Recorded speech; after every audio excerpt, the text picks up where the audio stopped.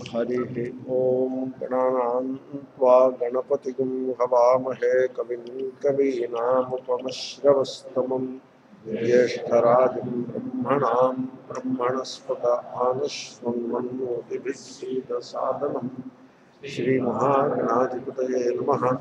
सदाशिवसमारम्भां शङ्कराचार्यमुख्यमान्। अस्मदाचार्यपर्यन्तां वंदे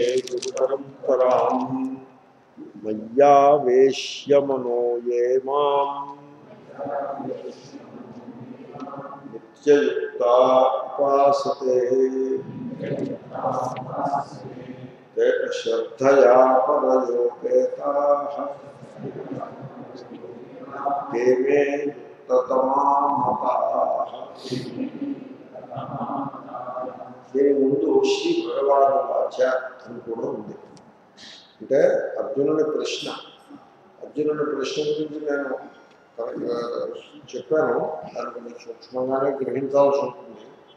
భక్తి గొప్పదా జ్ఞానం గొప్పదా? కాదు ప్రశ్న కాదు. శగుణోపాసన గొప్పదా నిర్గుణ ఉపాసన గొప్పదా? ఇది ప్రశ్న కాదు. ఇంట్లో ఏది గొప్పని ప్రశ్న?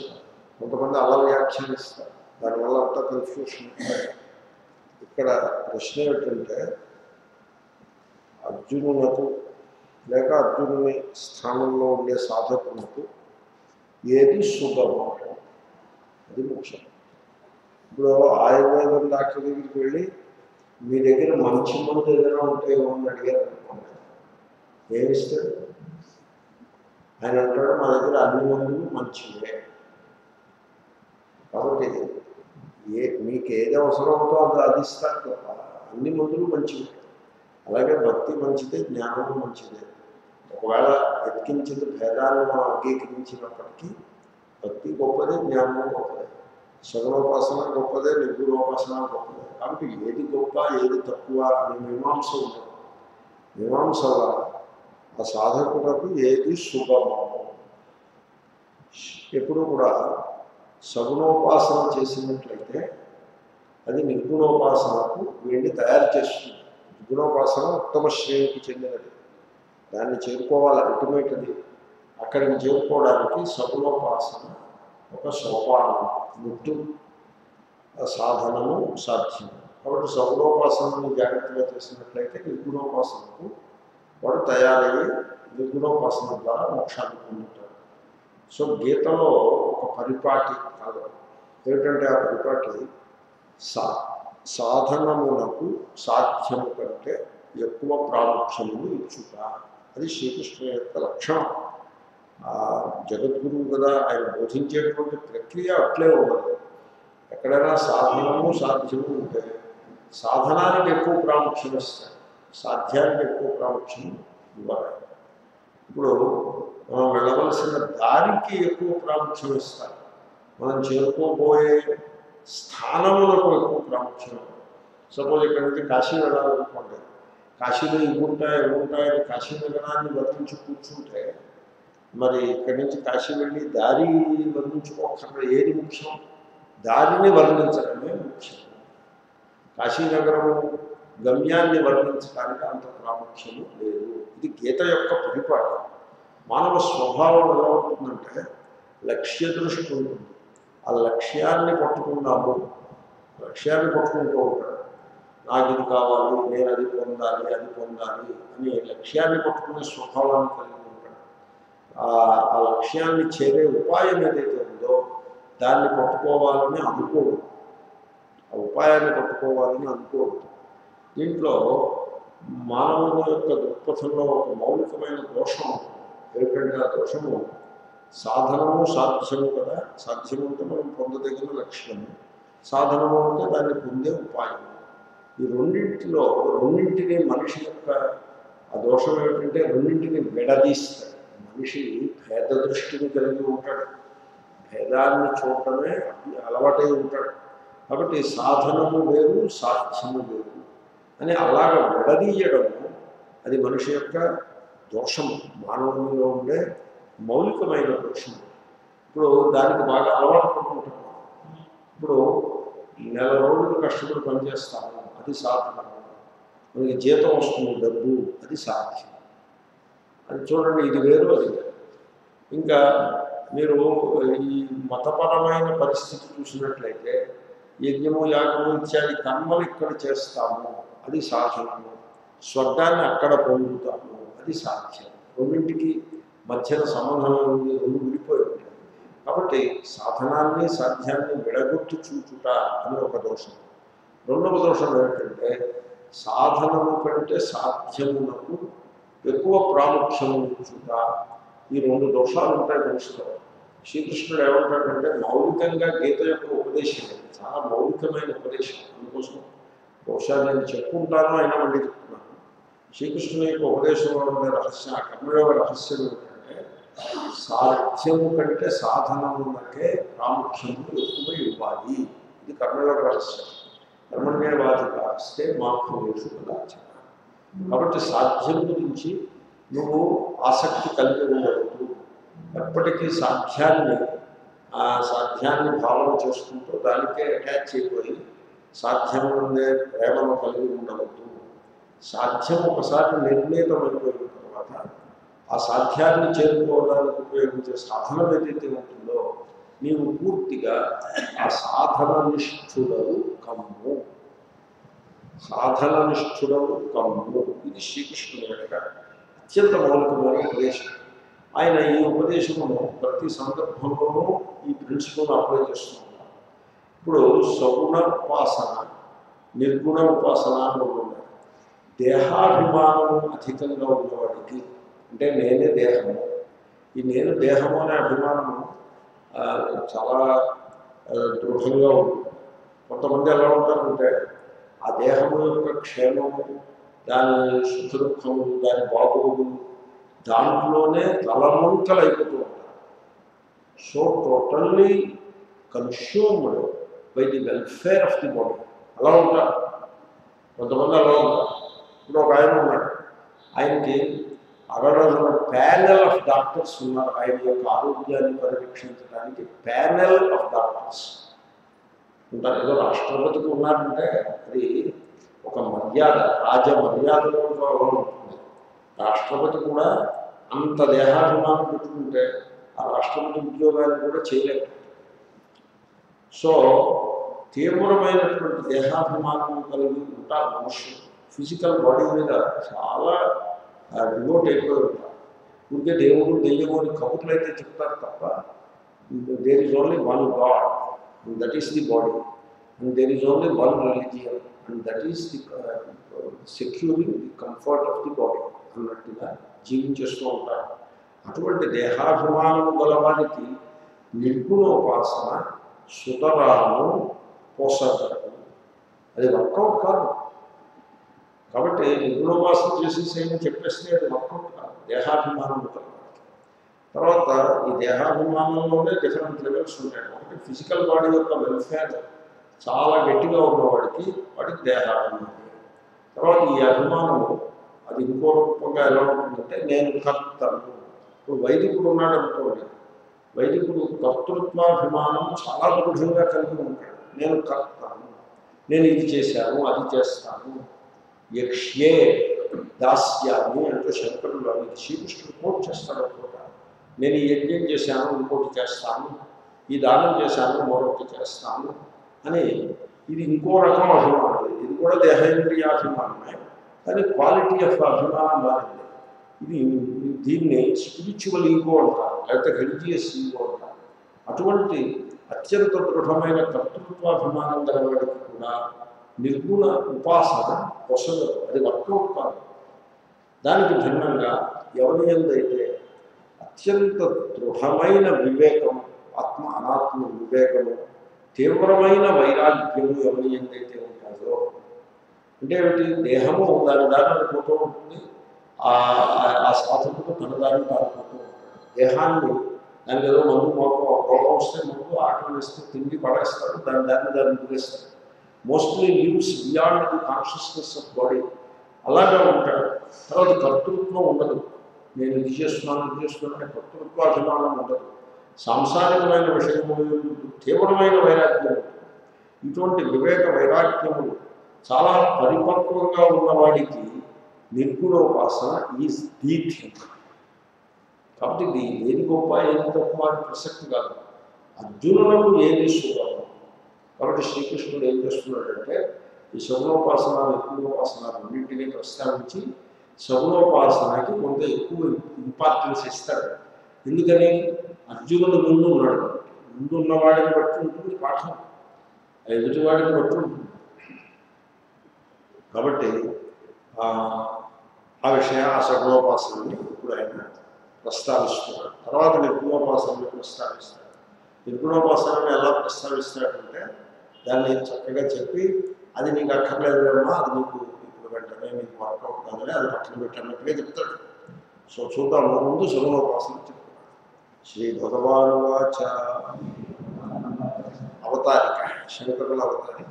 ఏ తు అక్షరోపాసకా సమ్యక్దర్శిన నివృత్తైషణా. వీళ్ళు నిర్గుణోపాసకులు. నిర్గుణోపాసకులను మూడు విశేషణాలతో వర్ణించారు. వీళ్ళు అక్షరోపాసక వినాశం లేని దాన్ని ఉపాసిస్తారు. ఇప్పుడు ఒకడు ఉంటాడు దేవుడి దగ్గరికి వెళ్ళి దేవుడా నేను నిన్ను పూజ చేస్తున్నాను డబ్బు ఇవ్వమంటాడు. వాడికి ఏమిటి ఉపాసిస్తున్నాడు? వినాశం అయ్యేదాన్ని ఉపాసిస్తున్నాడు కదా డబ్బు వచ్చిందనుకోండి ఏమవుతుంది డబ్బు? నాశనం. ఇంకొకడు నేను దేవుడికి పూజ చేస్తున్నాను యజ్ఞం చేస్తున్నాను స్వర్గానికి పోవాలి స్వర్గము కూడా వినాశం చెందిందే కదా కాబట్టి ఈ మానవులు అయితే సంతానం కోసం ఏదో పూజ అదో కాంట్రవర్సీ నడుస్తోంది సమాజంలో సంతానం కోసం ఈ పూజ సంతానం అది శాశ్వత వినాశమా అవినాశి క్యా సంతానం తర్వాత సంతానం అది వినాశ వీడైపోతుంటే మళ్ళీ వీడి సంతానం ఒకటి స్థిరంగా నిలిచి ఏమి కాబట్టి ఇటువంటి అటువంటి కమిట్మెంట్స్ కలిగి ఉంటాడు. వాడు దేన్ని వాడు సీ వాడు పొందగోలేది ఏమిటి వినాశి అయిన దాన్నే పొందబోతాడు అంటే వివేకం లేకపోవడం చేత నిత్యానిత్య వస్తువు వివేకం లేకపోవడం చేత అటువంటి వినాశి అయిన దాన్ని కోరుతాడు. దానికి భిన్నంగా ఏతు ఎవరైతే అక్షరోపాసన వినాశము లేని తత్వాన్ని వాడు ఉపాసిస్తారు. నశించి దాన్ని ఉపాసించారు. దేహం ఉందనుకోండి దేహాన్ని ఉపాసించారు. ఎందుకంటే నశిస్తుంటారు. ఒకనొక మానసిక స్థితి సుఖ సుఖావస్థ ఉల్లాసంగా మనస్సు ఉంటా దాన్ని ఉపాసిస్తారు ఈ భోగపరాయణకు దానిలో కోరుతారు. దాన్ని వీళ్ళు ఉపాసించాలి ఎందుకంటే మానసిక స్థితి ఎటువంటిదైనా కూడా అది చెల్లిపోతుంది ఎంత కోటీశ్వరుడైనా కూడా ఆ మనస్సు ఓ పావుగట్లో ఇరవై నిమిషాల్లో ఉల్లాసంగా ఉంటుంది. అంతకు మించి ఉల్లాసంగా ఉంటుంది ఏదో బిల్గేట్స్ ఎప్పుడూ ఉల్లాసంగా అలా ఉండిపోతాడు అనుకుంటున్నారా? It won't work like that ఎందుకంటే the brain cells the nervous system they cannot sustain prolonged happiness prolonged excited sustain break అయిపోతుంది హీ విల్ గో క్రేజీ అలా కంటిన్యూస్గా హ్యాపీగా ఉంటాయి it doesn't work like that మనం అనుకుంటాం ఆయనకేమి కూడా డబ్బులు ఎప్పుడు హ్యాపీగా ఉంటాడు? అలా ఉండదు కాబట్టి ఒక ఒక మానసిక స్థితి అది అవినాశి అన్నిటికీ కాదు అది వినాశ లక్షణాన్ని కలిగి ఉంటుంది.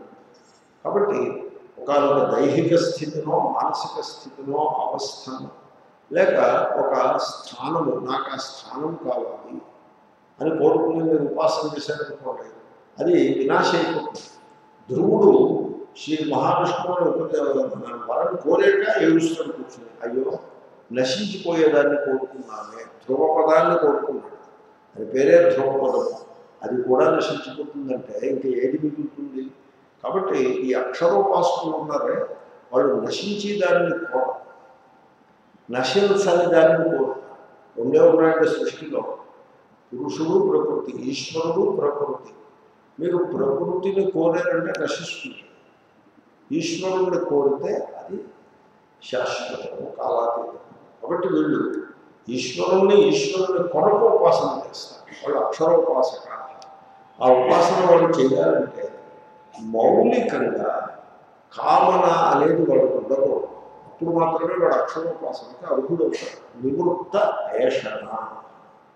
ఏషణ. కొంతమంది ఏషణ అంటారు. ఏషణ కాదు ఏషణ. నివృత్త ఐష ఏషణ అంటే సంధి చేస్తే ఐ వచ్చింది.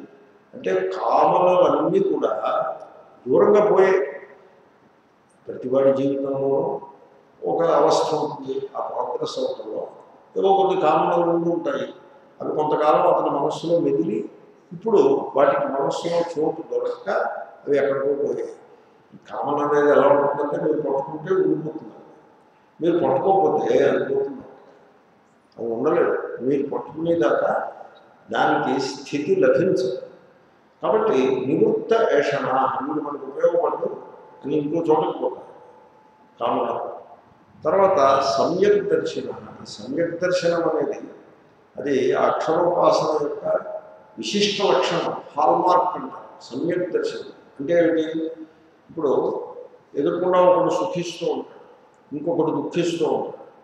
ఈ సుఖము దుఃఖం వాళ్ళు పరస్పర విరుద్ధంగా మనకు కనపడతారు. కానీ సమ్యక్ దర్శనము గలవాడికి ఇద్దరూ సమానమే కనపడతారు. ఎందుకని? సుఖము దుఃఖములకు అతీతమైన ఆత్మతత్వమును వాళ్ళు దర్శిస్తారు. కష్టం మదానుదేమో మదన్యో జ్ఞాతులర్హతి అని కఠోపనిషత్తులో ఉంటాడు. మద అమద. ఎదురువాడి నుంచే కనక్కర్లేదు తన కూడా మానసిక స్థితి ఉల్లాసంగా ఉన్నప్పుడు మానసిక స్థితి దుఃఖంతో నిండి ఉన్నప్పుడు రెండు సందర్భాల్లోనూ చాలా నిశ్చలమైన లేక అవికారి అంటే ఎట్టి వికారములు లేని ఆ చైతన్య స్వరూపాన్ని దర్శించగలుగుతాడు తనలో తన తన తన మనస్సులో దుఃఖం కలుగు మనస్సు అన్న తర్వాత దానికి దుఃఖం ఉంటుంది. సుఖం అంటే నిరంతరంగా సుఖం దేనికి? ఏ పరిస్థితి ఉండదు. మనస్సు అన్న తర్వాత ఏదో ఒకటి దుఃఖం అలాగే ఉంటుంది. ఆ దుఃఖమును కూడా సాక్షిగా దర్శిస్తాడు దుఃఖానికి సాక్షి అవుతాడు తప్ప దుఃఖి అవ్వడు. సో దుఃఖినో ఏది సాక్షిత్వం? ఒక సాక్షి దుఃఖినో భవేత్ అంటే ఏదో శ్లోకం ఉంటుంది విద్యార్థి స్వామి. కాబట్టి దుఃఖానికి సాక్షిగా ఉంటాడు తప్ప తాను స్వయంగా దుఃఖి దాన్ని సమ్యక్ దర్శనము అంటారు. అధ్యాత్మమునందు సమ్యక్ దర్శనము కలిగి ఉంటాడు. తర్వాత అధిభూతమునందు కూడా సమ్యక్ దర్శనము కలిగి ఉంటాడు. అంటే ఏమిటి? ఇగో వీడు మిత్రుడు వీడు శత్రువు అనే భా భేదం సమశత్రౌత శత్రౌచ విక్రేచ అని శ్రీకృష్ణుడు చెప్పినట్టుగా సమంగా ఉంటాడు. సమశత్రౌచ విక్రేచ దీనికి శంకరుని సమ్యక్ దర్శనాన్ని తరచుగా ఒక శ్లోకంతో దాన్ని వ్యాఖ్యానం ఎక్స్ప్లెయిన్ చేస్తూ విద్యా వినయ సంపన్నే బ్రాహ్మణే కవిహస్తి శునిచైవ స్వ స్వపాకేచ పండిత సమదర్శిన. దేనిని సమదర్శి అని అంటారు శ్రీకృష్ణుడు దానినే శంకరుడు సమ్యక్దర్శి అంటారు. వాళ్ళ పదప్రయోగము యొక్క శైలి. శ్రీకృష్ణుడు దేన్ని సమ సమదర్శనం అంటాడు సరిగ్గా దానినే శంకరుడు సమ్యక్దర్శి అంటాడు సమదర్శి అంటే తత్వము సమము అట్టి సమమైన తత్వము దర్శించువాడు సమదర్శి. సరిగ్గా చూడడం చేతనైన వాడు సమ్యక్ దర్శి. కాబట్టి పదముల యొక్క ప్రవృత్తి భిన్నంగా ఉన్నప్పటికీ అర్థం ఉంటాయి. కనుక అటువంటి సమ్యక్ దర్శనము కలిగి ఉంటాడు. తన పరాయి అనే భేదం ఉండదు. అది అసమ్యక్ దర్శనం వీడు వీడి మిత్రుడు శత్రువు అనే భేదం ఉండదు. మనం ఆ తర్వాత ధర్మ ధర్మ వీడు పుణ్యాత్ముడు వాడు పాపాత్ముడు అనే భేదం ఉండదు. సాధుష్వమిత పాపేషు సమబుద్ధి విశిష్యతే. సో అటువంటి సమ్యక్ దర్శనము ఇటువంటి లక్షణాలు అంటే ఆ లక్షణాలు ఎలా ఉన్నాయో చూడండి. వాడు ఉపాసించేది అవినాశ తత్వాన్ని ఉపాసిస్తారు సాంసారికములైన ఏషణము వాడికి ఏమీ అక్కర్లేదు. సమ్యక్ దర్శనంలో ఉంటాడు. వాడు నిర్గుణోపాసనకు తగినవాడు.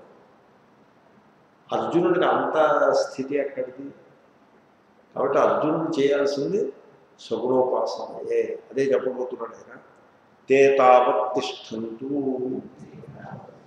వాళ్ళని అలా పక్కన పెట్టుకుంటారు ఈ అక్షరోపాసకులు ఉన్నారు వాళ్ళని అలా పక్కన పెట్టు కాదు వాళ్ళ గురించి చెప్పి ఎందుకు వాళ్ళ గురించి ఎందుకు ఇప్పుడు మీరేమో బ- బస్సు ఎక్కి విజయవాడ వెళ్ళాలి. వాళ్ళు ఎవరో విమానం ఎక్కి వెళ్తున్నారు. వాళ్ళ గురించి ఎందుకు చెప్పడం మీకు అవసరం కాదు. మీకు బస్సులు ఎక్కడ దొరుకుతాయి ఎక్కడ కాదు సీట్ కావాలంటే ఏం చేయాలి అవన్నీ మీకు చెప్తే ఉపయోగం కానీ విమానంలో విజయవాడ ఎలా వెళ్ళాలో చెప్తే ఎంతసేపు అక్కడ ఎక్కడ దిగుతున్నారు ఎందుకు ఈ సమాచారం అంతా అవసరం కదా బస్సులో వెళ్ళి వెళ్ళి విమానం పోవాలని అవసరం ఇష్టంతో తాగుతూ వాళ్ళని పక్కన పెట్టి కాదు నేను కూడా విమానంలో అప్పుడు ఆగుతుంది అంతవరకు పక్కన పెట్టు సరే తాన్ ప్రతి యద్వక్తవ్యం తత్ పరిష్కాత్ వక్ష్యామ సో అటువంటి అక్షరోపాసకులు ఎవరైతే ఉన్నారో వాళ్ళ గురించి కూడా చెప్పడం అవసరమే ఎందుకంటే విషయం సమగ్రంగా ఉండాలి కదా పూర్తిగా పక్కన పెట్టేసి ఒక్క మాట కూడా చెప్పకపోతే శాస్త్రం సమగ్రం అవ్వదు. కాబట్టి వాళ్ళ గురించి మాట చెప్పి సందర్భం ఉంటుంది. నేను చెప్తాను వాళ్ళ గురించి. ప్రస్తుతానికి పక్కన పెట్టు. ప్రస్తుతం నీకు ఉపయోగపడే సగుణోపాసన చెప్తాను చూసుకుంటూ కానీ వాళ్ళ గురించి ఒక మాట నేను క్లుప్తంగా తర్వాతనే ఈ సగుణోపాసన చెప్పడం అయిన తర్వాత గుప్తంగా మాట వాళ్ళ గురించి చెప్పి శ్రీకృష్ణుడు అదే చేస్తాడు. వాళ్ళ గురించి గుప్తంగా మాట చెప్పేసి మళ్ళీ సగుణోపాసనలోకి వచ్చేస్తాడు వచ్చేసి మొత్తం అధ్యాయం అంతమయ్యే వరకు కూడా ఆ సగుణోపాసనకు కావాల్సిన వ్యవస్థని బోధిస్తాడు. చిత్రం ఏంటంటే ఈ సగుణోపాసన శ్రీకృష్ణుడు చెప్పినట్టుగా చేస్తే వాడు సమ్యక్ దర్శి అయిపోతాడు. ఆటోమేటిక్గా ఆ అక్షరోపాసనలోకి వెళ్ళిపోతాడు. That is how the scheme works దీంట్లో ఉన్న రహస్యం ఏమిటంటే సాధన నిష్టయే కర్తవ్యం. సాధ్యనిష్ట అక్కర్లేదు సా- సాధ్యం గురించి తెలుసుంటే సరిపడుతుంది you know what is the సాధ్య. అది ఇంకా సాధన నిష్టయే కర్తవ్యం. ఎందుకంటే నేను ఇందాక మనం చేసినట్టుగా సాధనమును సాధ్యమును విడదీసి చూచుట దోషము. అలా విడదీసి చూడకూడదు. ఎప్పుడు కూడా సాధ్యం అనేది సాధనము నుండి నిర్మాణం ఇప్పుడు పువ్వు మొగ్గ నుంచి వస్తుంది.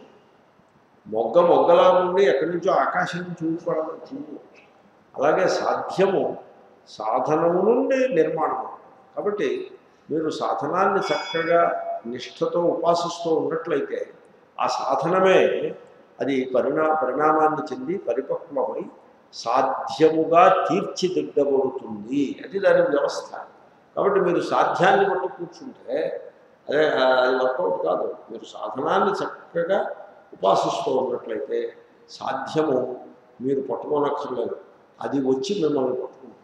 కాబట్టి సాధన నిష్టను ఎక్కువ ప్రాముఖ్యం ఇచ్చుట సాధన నిష్టకు ఇది గీత యొక్క పరిపాటి ఎంతయో సొగసుగా ఉన్నది.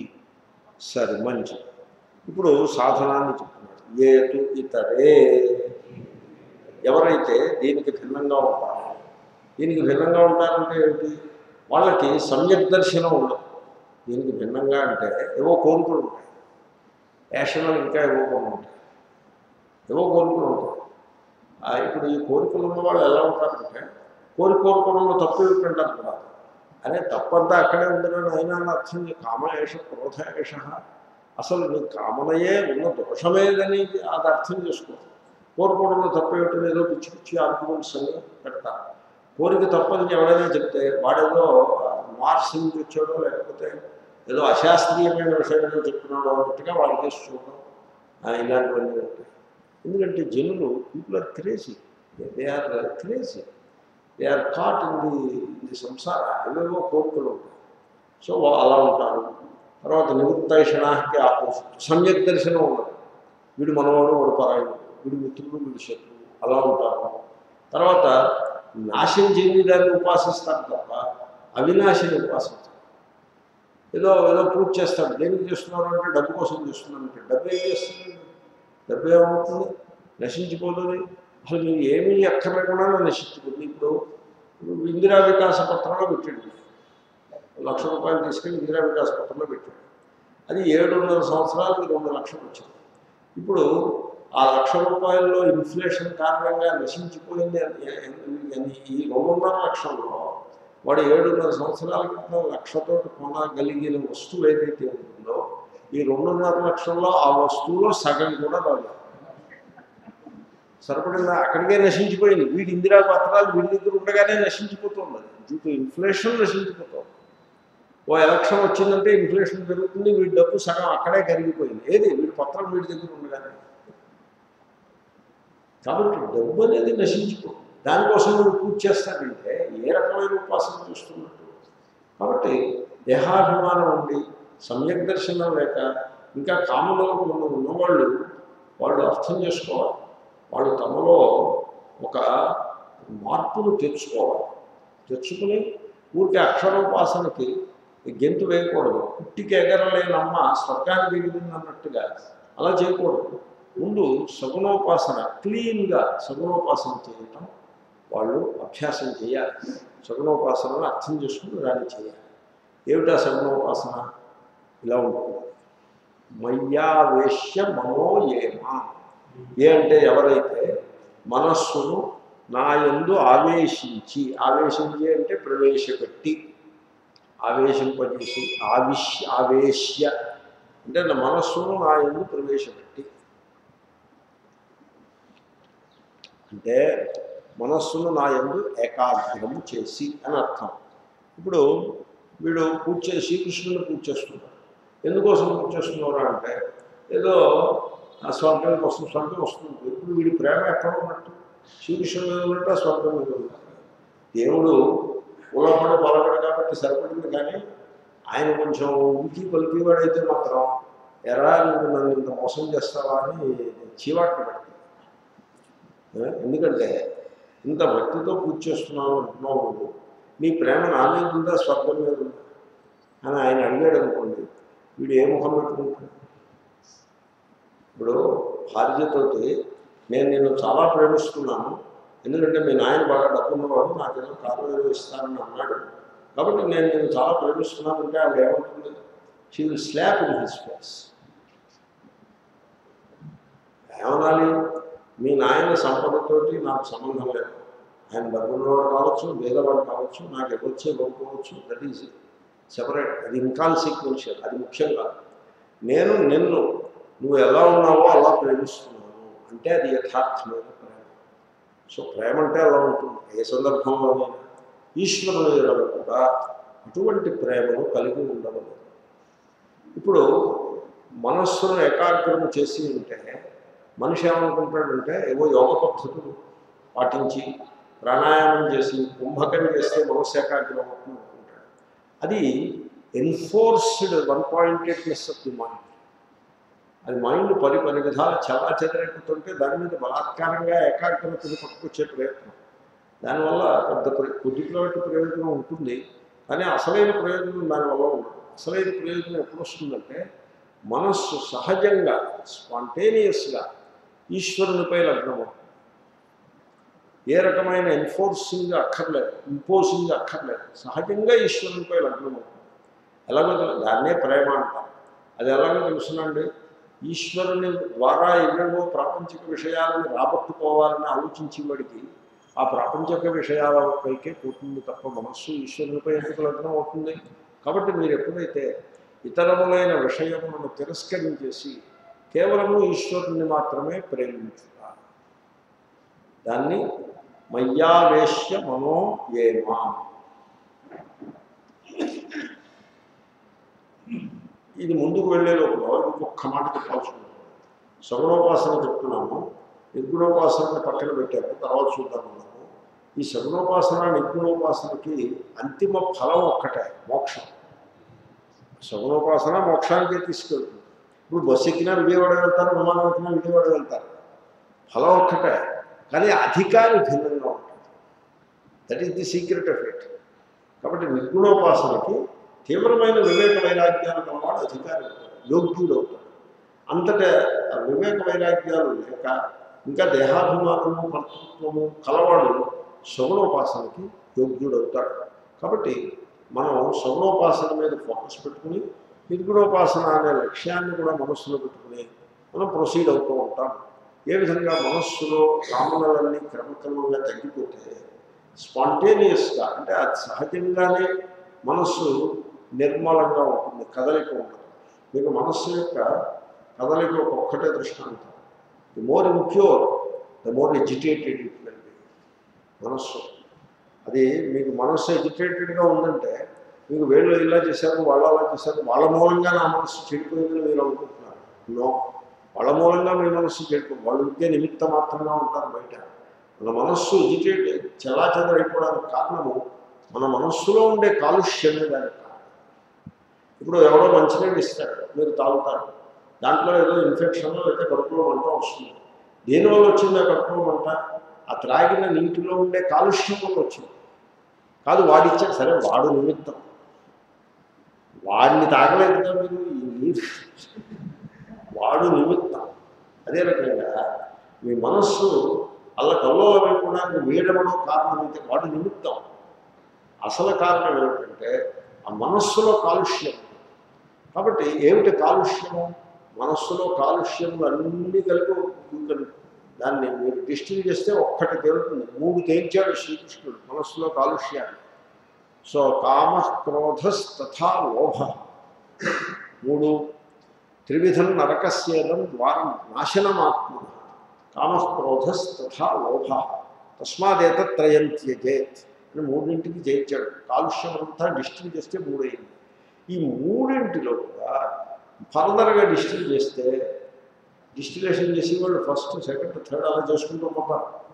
కాబట్టి మళ్ళీ ఇంకోసారి డిస్టిల్ చేస్తే కామహ దగ్గర సెటిల్ అవుతుంది ఎందుకంటే కామన సక్సెస్ అయితే అంటే కోరిక పరిపూర్తి చెందినప్పుడు లోభం పుడుతుంది దాని నుంచి. కోరిక విఘాతమైపోతే కోరిక ఫెయిల్ అయిపోతే భగ్నమైపోతే క్రోధం పుడుతుంది. భగ్నమైన కామనయే క్రోధం పరిపూర్ణమైన అంటే పూర్తి పూర్తి చెందిన కామనయే లోభం అవుతుంది కాబట్టి కామన తీసి పారేస్తే క్రోధము లోభము తొలగిపోతాయి కాబట్టి it all settles down as common. కనుక సకల కామనలను మీరు ఎప్పుడైతే తిరస్కరిస్తారో మీ మనస్సు నిర్మలంగానే ఉంటుంది. మీరు ముక్కు మూసేసి కుంభకం చేసే అక్కర్లేదు మనస్సు నిర్మలంగానే ఉంటుంది.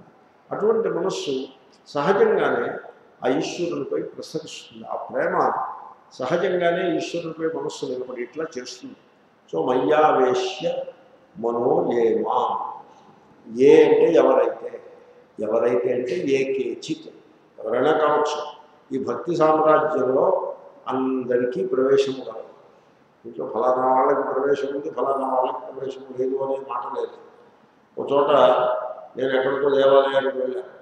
ఇక్కడ హిందూ ఇతరులకు ప్రవేశము లేదు అని రాసిపెట్టాను బోర్డు కాబట్టి భక్తి సామ్రాజ్యంలో అదేం లేదు. అందరూ వచ్చేయచ్చు మీరు శ్రీకృష్ణుని ఆరాధించదలుచుకుంటే మీరు హిందువులు కాకపోయినా యూ కెన్ వాకింగ్ ప్రవేశ నిషిద్ధ హై ఐసా నహి హై. అలాంటిదేమీ లేదు. భక్తి సామ్రాజ్యంలో లేదు మీరు వాళ్ళు అలా ఇది పెట్టారు? తెలియక పెట్టారు. తెలియక. తెలుసుంటే అలా పెట్టారు. ఎవరైనా హిందువులు అందరూ హిందువులే. బృందంతో విశ్వమార్గం భక్తి సామ్రాజ్యంలోకి అందరూ వెళ్తారు ఒకసారి అక్బర్ పాదుషా బీర్బల్ని అడిగాడు. అక్బర్ పాదుషా అంటే కొంత విశాల హృదయం కావాలి బీర్బల్ అనే ఒక మంత్రిని పెట్టుకున్నాడు చాలా గుర్తున్నప్పుడు ఏ బీర్బల్ నేను పాదుషా. పాదుషా అంటే చక్రవర్తి చాలా పెద్ద హైయెస్ట్ పొజిషను సో నేను పాదుషా. ఈ జగత్తుకి పాదుషా ఒకడు ఉన్నాడు దేవుడు. నేను ఇక్కడ ఈ సామ్రాజ్యానికి పాదుషా మా ఇద్దరి గురించి ఏదైనా పోలిక చెప్పాను ఈ పాదుషాకే ఆ పాదుషాకే ఏదైనా పోలిక చెప్పమంటే మహారాజ్ మీ మీ పాదుష మీరే గొప్ప పాదుష భగవంతుడు మీ అంత గొప్ప పాదుష కాదన్న అంటే ఏ పనులు నువ్వు నాకేదో పెడుతున్నావు? ఏదో దీంట్లో ఏదో నాకు గొయ్యి తీస్తున్నట్టే కనపడుతుంది. యు ఎక్స్ప్లెయిన్ యువర్ సెల్ఫ్ అన్నాడు. అంటే చూడండి మీరు ఎవరినైనా మీ సామ్రాజ్యం నుంచి నిష్కాసం చేయాసేయాలంటే బహిష్కృతుడిని చేసేయాలంటే మీరు వెంటనే ఒక ఆర్డర్ వేస్తే బహిష్కృతుడైపోతుంది కానీ ఆ పని ఈశ్వరుడు చేయలేడు. ఈశ్వరుడు వాళ్ళ కాదు. ఎందుకంటే ఈశ్వరుడి సామ్రాజ్యం బయట అనేది ఏమీ లేదు. అందరూ ఈశ్వరుడి సామ్రాజ్యంలో వారే. పుణ్యాత్ములు పాపాత్ములు నరకం స్వర్గం మిత్రుడు శత్రువు అందరూ ఈశ్వరుడి సామ్రాజ్యంలో వారు ఈశ్వరుడు ఫలానా జీవుణ్ణి నా వ్యాపకత్వానికి బయటకు తోసేస్తారని ఈశ్వరుడు ట్రై చేసి కూడా తోసేయలేడు. వెరాజ్ మీరు తోసేయగలుగుతారు. కాబట్టి మీరే గొప్పది. దీన్ని వ్యాజస్థుతి అంటారు. యథార్థమైన స్థితి కాదది. వ్యాజస్థుతి. ఎనీవే కాబట్టి ఏ చ ఎవరైతే అందరూ ఆ పరమేశ్వరుని యొక్క సమలోపాసనకి సగుణోపాసనకి వెల్కమ్ దీంట్లో ఎవరిని బయట పెట్టేది ఏమీ లేదు. అందరూ అర్హులే. సర్ సో ఏ చ ఎవరైతే భక్తి సామ్రాజ్యంలో ఎవరైతే ప్రవేశిస్తారో ఎలా ప్రవేశిస్తారు? మన ఆవేశ్య మనస్సును ఏకాగ్రం చేయాలి. మనస్సును ఏకాగ్రం చేయాలంటే రెండు పద్ధతులు. ఒకటి ఏషణాత్యాగం కోరికలను బాగా తగ్గించేసుకుంటూ. అంటే మన కోరికలు ఏమవుతాయి? దీనికి ఒక ట్రిక్ ఉంది. ఎదేవ భవతి తదేవ మంగళాయ. యదేవ దేవ కరోతి తదేవ మంగళాయ. చూడండి whatever happens whatever small or big happens by the will of God number one number two happens for the good ఈ రెండు ఈ రెండు మాటలని మనస్సుకు పట్టించుకుంటే ఇంకా విశ్రాంతే విశ్రాంతి. అంత రిలాక్సేషన్ ఇంకా టెన్షన్ అనేది ఉండదు. ఏది జరిగినా ఈశ్వరుని కృప వల్లనే దొరుకుతుంది. ఏది జరిగినా ఓకే ఈశ్వరుని కృప వల్లనే జరిగింది కానీ మంచి జరగాలి కదా. ఏది జరిగినా మంచియే మయ్యావేశ్య మనోయేమ ఇది ఆ సగుణ భక్తి యొక్క పరాకాష్ఠ దానిని జాగ్రత్తగా అర్థం చేసుకోవాలి. ఎందుకంటే భేదబుద్ధి ఉన్నది కదా. నేను వేరే ఉన్నాను ఈశ్వరుడు వేరే ఉన్నాడు. నేను ఇక్కడ అల్పుడను ఈశ్వరుడు సర్వ వ్యాపకుడు అని వీడు భక్తి భావన చేస్తున్నప్పుడు ఆ చేసేప్పుడు దాన్ని సరిగ్గా చేయాలి కదా. సరిగ్గా చేయాలి. ఎలాగ సరిగ్గా చేయటం అంటే ఏ మనహ మయి ఆవేశ్య. మనస్సును నా ఎందు ఆవేశింపజేసి చేయాలి.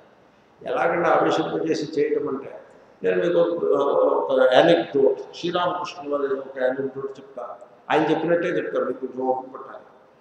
ఎలాగంటే ఒక అతను ఉన్నాడు. అతను నేస్తాడు బట్టలు నేస్తాడు. ఏదో పంచో తువ్వాలో ఏదో నేస్తాడు. నేసి అమ్ముతాడు. ఆ అమ్మేప్పుడు ఎలా అమ్ముతాడంటే ఆరు అణాలు ఖర్చు అయితే అర్ధ రూపాయలు అమ్ముతాడు. రెండు అణాలు లాభం వేసుకుని అమ్ముతాడు. నేసేప్పుడు చాలా పూచిగా శ్రద్ధగా నేస్తాడు. రెండు అణాలు లాభం వేసుకుని అమ్ముతాడు. కాబట్టి అతనికి మార్కెట్ కస్టమర్ లేదనే సమస్య లేదు. ఎందుకంటే అతనికి వస్తువు బాగుంటుంది. ఖరీదు చాలా కాబట్టి ఆ- ఆ రెండణాలు అతనికి ఆదాయం వస్తుంది ఆ రెండణాలతోటి మధ్యాహ్నం భోజనం ఒక ఆన రాత్రి భోజనం ఒక ఆన ఆ రోజుల్లో అలా జీవిస్తూ ఉంటాడు. ఈశ్వరుని ఎప్పుడు స్మరిస్తూ ఉంటాడు రామనామాన్ని ఎప్పుడు స్మరిస్తూ ఉంటాడు. అతను రాత్రి పదింటికి అరుణ్మే కొనుక్కుంటాడు కొనుక్కుంటే దొంగలు మహారాజు గారి ట్రెషరీలో బంగారాన్ని ఇతర విలువైన వస్తువుల్ని మూటకట్టి మోసుకుపోతూ మొగం అంతా నోట్లు కాదు అంతా వస్తువుకుండా ఉండేవి బరువు. ఓ మూట ఆశతో పెద్ద మూట కట్టి అది మొయ్యలేక గిలగిలాడుతూ ఈ లోపల రాజభటులు తరువులు వస్తారేమో మన అదో భయం తొందరగా వెళ్ళాలి ఈ బరువు. కాబట్టి వాళ్ళు ఏం చేస్తారంటే వీడు అరుగు మీద అమాయకంగా పడుకుని ఉంటాడు. రామనామాన్ని జపించుకుంటూ ఇంకా నిద్రపోయే ప్రయత్నం చేస్తూ ఉంటే పదింటికో పదకొండింటికో వీడిని బలాత్కారంగా కూలి కింద పెట్టుకుని వీడి చేత మోయిస్తూ ఉంటాడు. వాడికి ఛాయిస్ ఏమో మోయాల్సిందే సో మోసుకుంటూ పోతాడు. పోతుంటే ఈ లోపల రాజభవనం కరువుకు వస్తారు అప్పుడు వాళ్ళు ఏం చేస్తారంటే ఆ డబ్బుని ఆ మూటని అక్కడ వదిలేసి పారిపోతారు. అప్పుడు ఈ మూటతో వీడు దొరుకుతాడు.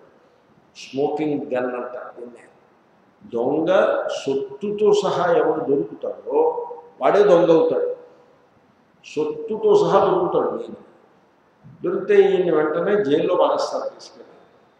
మొన్నటి పొద్దున్న మ్యాజిస్ట్రేట్ ముందు హాజరు పరుస్తారు ఇదిగో నిన్న సొత్తుతో సహా పట్టుకున్నామండి కాబట్టి ఇంకా మ్యాజిస్ట్రేట్ వీడికి ఉరి శిక్ష లేకపోతే పదేళ్ళ జైలు శిక్ష వేసేయటమే తర్వాత అప్పుడు ఆ మ్యాజిస్ట్రేట్ కొంచెం వివేకం గలవాడు ఇతని ముఖం చాలా ప్రసన్నంగా ఉండడం చూసి నీ డిఫెన్స్లో నువ్వు చెప్పుకోదగ్గది ఏమైనా ఉందా? అని అడుగుతాడు. నీకు లాయర్ అవ్వడం నాకు లాయర్ ఎవడండి అక్కర్లేదు కూడా.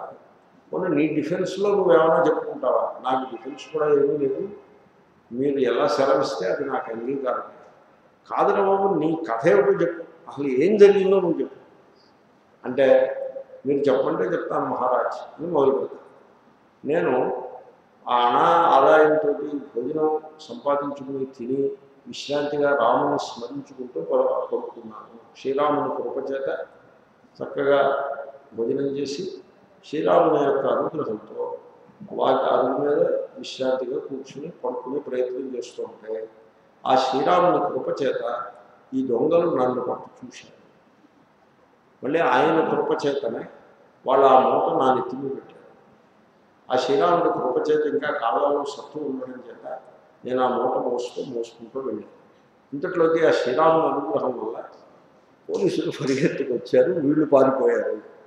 ఆ శ్రీరాముడి దయ వల్ల ఆ పోలీసులు నన్ను కొట్టుకున్నారు ఆ శ్రీరాముడి దయ వల్ల వీళ్ళు నన్ను జైల్లో పెడితే శ్రీరాముడి దయ వల్ల నేను జైల్లో కూడా రాత్రి హాయిగానే నిద్రపోయినాను శ్రీరాముడు అనుగ్రహం వల్ల పొద్దున్నే జైల్లో స్నానం చేస్తే వాళ్ళు ఏదో టిఫిన్ కూడా పెట్టారు.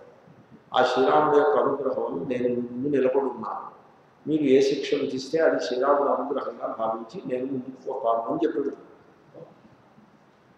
చెప్తే ఆ మ్యాజిస్ట్రేట్ అరే ఈయనగా మీరు అరెస్ట్ చేసి తీసుకొచ్చారు. పోలీసులు చీవాట్లు పెట్టి ఈయన పెట్టేస్తారు. ఆ సొత్తు రాజుగారికి పంపించేస్తారు దట్ ఈస్ హౌ ఇట్ మయ్యావేశ్య మనోయేమ ఈ జీవితంలో ఇది జీవితం ఎంత చంచలమైన జీవితం అంటే కాలము మహావేగంతో పయనిస్తూ ఈ క్షణం మనకు అనుకూలమైతే మరుక్షణం అనుకూలం అని చెప్పడానికి దుఃఖము అంతే. వచ్చిన దుఃఖం పోతూ ఉంటుంది వచ్చి- పోయిన దుఃఖం మళ్ళీ వస్తుంది వచ్చిన సుఖం పోతుంది పోయిన సుఖం మళ్ళీ వస్తుంది కాబట్టి ఈ సుఖ దుఃఖాలు ఇలా ప్రవాహరూపంగా వస్తూ ఉంటే పోతూ ఉంటాయి కొంచెంసేపు సుఖం ఉండి పోయి దుఃఖం వస్తుంది దుఃఖం పోయి సుఖం వస్తుంది ఎప్పుడు కూడా సుఖాన్ని రిప్లేస్ చేసి దాని పేరే దుఃఖం సుఖం will be certainly replaced by what by దుఃఖం దుఃఖం will be certainly replaced by what సుఖం అత్- ఆ కేవలము దుఃఖము మాత్రమే నేను ఎరుగుదును అనేవాడు ఈ సృష్టిలో ఉన్నాడు కేవల సుఖము మాత్రమే నేను ఎరుగుదును అనేవాడు కూడా సృష్టిలో ఉన్నాడు ఈ సుఖ దుఃఖముల ప్రవాహం అది ప్రకృతి ప్రవాహం. ఆ ప్రవాహాన్ని నియంత్రించేవాడు మహామాయావి ఆ ఈశ్వరుడు సర్వేశ్వరుడు సర్వశక్తిమంతుడు వాడు నియంత్రిస్తున్నాడు. సుఖాన్ని ఎందుకు చేస్తున్నాడో మనకు తెలియదు దుఃఖాన్ని ఎందుకు చేస్తున్నాడో మనకు తెలియదు తెలుసుకునేటువంటి సామర్థ్యం కూడా మనకు చాలదు. సూపర్ కంప్యూటర్స్ కూడా ఆ కర్మ యొక్క గతిని కర్మ యొక్క ప్రవాహాన్ని వర్కౌట్ చేయలేవు. దహనా కర్మణో గతి. There are so many parameters in that one thing happens because of innumerable causes లెక్కలేనన్ని కారణాల చేత ఒక ఘటన జరుగుతుంది. ఎన్ని కారణాలు కలిసి ఈ ఘటనను ఘటన చేసేయని చెప్పడానికి సూపర్ కంప్యూటర్ కూడా చాలదు. అన్ని పారామీటర్స్ ఉంటాయి దాంట్లో. కాబట్టి ఒక మహాశక్తి ఈ జగద్ వ్యాపారాన్ని నడిపిస్తూ ఉంటుంది. ఈ జగన్నాటకాన్ని నడిపిస్తూ ఉంటుంది. ఆ మహాశక్తియే ఈశ్వరుడు. మనం ఆయనకి కట్టుబడి ఉన్నాం తప్ప ఈ నాటకానికి మనం కట్టుబడేది లేదు ఈ నాటకం ఎలా ఉన్నా మనకు అంగీకారమే. ఈశ్వరులకు మనం సమర్పితులమైనాము అనే విధమైన శరణాగత లక్షణం ఏదైతే ఉంటుందో దాన్ని మన ఆవేశ్య అని అంటారు. ఇది అధ్యాత్మంలో ఇక అధిభూతంలో చూస్తే విశ్వరూప సందర్శన యోగంలో చెప్పినట్టుగా వాయువు యమోగ్ని వరుణ శశాంక ఇది అధిభూతంలో మనస్సుని ఈశ్వరునిపై ఆవేశింపజేయుట. ఇప్పుడు మనం దృష్టి భేద దృష్టి కలిగి ఉంటాం. భేద దృష్టియే తప్పు. భేద దృష్టి అంటే ఏమిటి? ఇది మనుషులు వాళ్ళు అవి పక్షులు. ఈ మనుషుల్లో వీళ్ళు మనవాళ్ళు వీళ్ళు పరాయణ ఈ మనవాళ్ళలో వీళ్ళు మనకు అనుకూలమైన వాళ్ళు వీళ్ళు మనకు ప్రతికూలమైన వాళ్ళు అని సర్వత్రా మనం భేద దృష్టినే కలిగి ఉంటాం. అలా కాకుండా భేద దృష్టి కాకుండా అభేద దృష్టి సర్వమునందు ఈశ్వరుణ్ణి దర్శించటం మొన్న అభేదం అనేది కొంచెం అంత కష్టం అవ్వచ్చు. సర్వమునందు ఈశ్వరుణ్ణి దర్శించటం ఇప్పుడు కోయిల కూస్తుంది ఆ కోయిల కూతలో ఈశ్వరుని యొక్క విభూతి గలదు. మీరు గుర్తుపట్టగలరా? కాకి యొక్క కాక అనే ధ్వనిలో ఈశ్వరుని యొక్క విభూతి కలదు మేఘంలో ఈశ్వరుని విభూతి ఉన్నది గాలిలో ఈశ్వరుని విభూతి సో చంద్రుడు సూర్యుడు వాయువు యమోగ్ని so death is they there is death మీరు పేపర్ తీస్తే అన్ని డెత్లే ఉంటాయి. ఈ బస్సు ఇక్కడ కొట్టుకుంది అక్కడ lorry. India has the largest number of road accident deaths in the world ఒక ఒక పిక్యూలియర్ డూబియస్ డిస్టింక్షన్ ఉంటుంది మనకి. ప్రపంచం మొత్తంలో కూడా రోడ్డు మీద రక్తాలు ఎక్కువగా ఓడేటువంటి దేశం ఇండియానే. మీరు చూసుకోండి స్టాటిస్టిక్స్. మీరు గూగుల్ పోయి వెరిఫై చేసుకుంటే తెలుస్తుంది. చైనా కూడా మనకంటే తక్కువ డెత్స్ ఉంటాయి రోడ్డు మీద డెత్స్. అది ఆ డెత్ ఉన్నది. ఒక చోట డెత్ ఉంటుంది. ఇంకొక చోట బర్త్ ఉంటుంది. ఆ బర్త్లో ఈశ్వరుని యొక్క విభూతి ఉంటుంది. డెత్లో ఈశ్వరుని యొక్క విభూతి ఉంటుంది. సో ఈ విధంగా సర్వమునందు అగ్నియందు మండి మండిపోయే సూర్యుని ఎందు ఈశ్వరుని విభూతి ఉంటుంది. At the same time Mahasen అనేటువంటి ఆ తుఫాను వెళ్ళి బంగ్లాదేశ్ని ముంచెత్తింది. ఆ వరుణ దాని ఎందు ఈశ్వరుని యొక్క విభూతి ఉంటుంది. ఈ విధంగా సర్వమునందు అధిభూతమునందు సర్వమునందు ఈశ్వరుణ్ణి దర్శించుట మన ప్రారంభం ఏంటంటే మనకు అధ్యాత్మంలో ఈశ్వరుని దర్శించడం చేత కాదు. అధిభూతంలో చేత కాదు. ఎక్కడో అధిదైవం వైకుంఠంలోనూ కైలాసంలోనూ ఈశ్వరులో పెద్ద ఆయన ఒకటి కూర్చున్నాడు. ఇప్పుడు వాడిని దర్శించే ప్రయత్నం అది వర్కౌట్ అవ్వదు. ఏదో అయినట్టు ఉంటుంది కానట్టు ఉంటుంది. అదో ప్రవాహం కింద పోతూ ఉంటుంది. కాబట్టి ఆ ఈశ్వర భక్తి అన్నది అది రెండు అడుగులు ముందుకి నాలుగు అడుగులు వెనక్కి ఇలాగే నడుస్తూ ఉంటుంది. కాబట్టి మయ్యావేశ్య మనో ఏమా శంకరులు మయి విశ్వరూపే పరమేశ్వరే అది మయి అంటే ఆయన ద్విభుజ రూపము చతుర్భుజ రూపము అని చెప్పడం విశ్వరూపం అని చెప్తాను ఎందుకంటే కాంటెక్స్ట్ విశ్వరూపం. విశ్వరూపాన్ని అంత్యత్నం నేను వాయుర్యమోగ్ని నా విశ్వరూప సందర్శన యోగంలోని అనే వాక్యాన్ని నేను ముందు పెట్టాను. పరమేశ్వరి అంటే సర్వమును పరమేశ్వరి అంటే సర్వమును శాసించుకోవడం ఇప్పుడు మీరు కొన్ని అంశాలను శాసిస్తూ ఉంటారు. ఇప్పుడు బ్రేక్ఫాస్ట్ ఏంటి తినాలి? మీరే శాసిస్తారు. You are the master lunch ఏమిటి you are the master but ఆ బ్రేక్ఫాస్ట్ లోపలికి వెళ్ళిన తర్వాత ఏమిటవుతుంది అన్నది మీకు శాసించేది ఏమీ లేదు అది విషం అవ్వచ్చు పుష్టికరం కావచ్చు. ఒకప్పుడు విషం అవుతుంది ఇంకొకటి పుష్టికరము కావచ్చు. సో అలా అక్కడ మీ శాసనం పోయింది. అక్కడ శాసించేవాడు ఈశ్వరుడు మన రాజు ఆ రాజ్యంలో ఉన్న శాసిస్తాడు. ఆ రాజును మళ్ళీ పైవాడు ఈశ్వరుడు శాసిస్తాడు. పరమేశ్వరుడు. కాబట్టి మీరు మీ యొక్క చిన్ని చిన్ని శాసనాన్ని చూసుకుంటారా? లేకపోతే పరమేశ్వరుణ్ణి చూసుకోవాలా? అలాగే చుట్టుముట్టు ఉండే చిన్న చిన్న చిల్లర చిల్లర శాసనాలని చూసుకుంటే ఉపయోగం ఉంది. పరమేశ్వర్ సర్వేశ్వరునిపై మనం మనస్సును పెట్టాల్సి ఉంటుంది. అంటే ఏమిటనమాట? ఈ చుట్టూ జరిగేటువంటి ఈ ప్రాపంచిక వ్యవహారం ఏదైతే గలదో దీనినంత మీకు you have to expand the vision you have to big పిక్చర్లోకి వెళ్ళిపోవాలి. బిగ్ పిక్చర్లోకి వెళ్ళిపోవాలి. ఇప్పుడు ఇది ఎలాగంటే ఒక ఆయనకి ఒక కొడుకు వాడేమో మెంటల్లీ హ్యాండిక్యాప్ మెంటల్లీ హ్యాండిక్యాప్ నా కొడుకు మెంటల్లీ హ్యాండిక్యాప్ అంటే ఏమిటవుతుంది ఏడుస్తూ కూర్చోవాలి. నన్ను సలహా అడిగాడు ఏం చేయాలి వీళ్ళని? నువ్వు పని చేయి.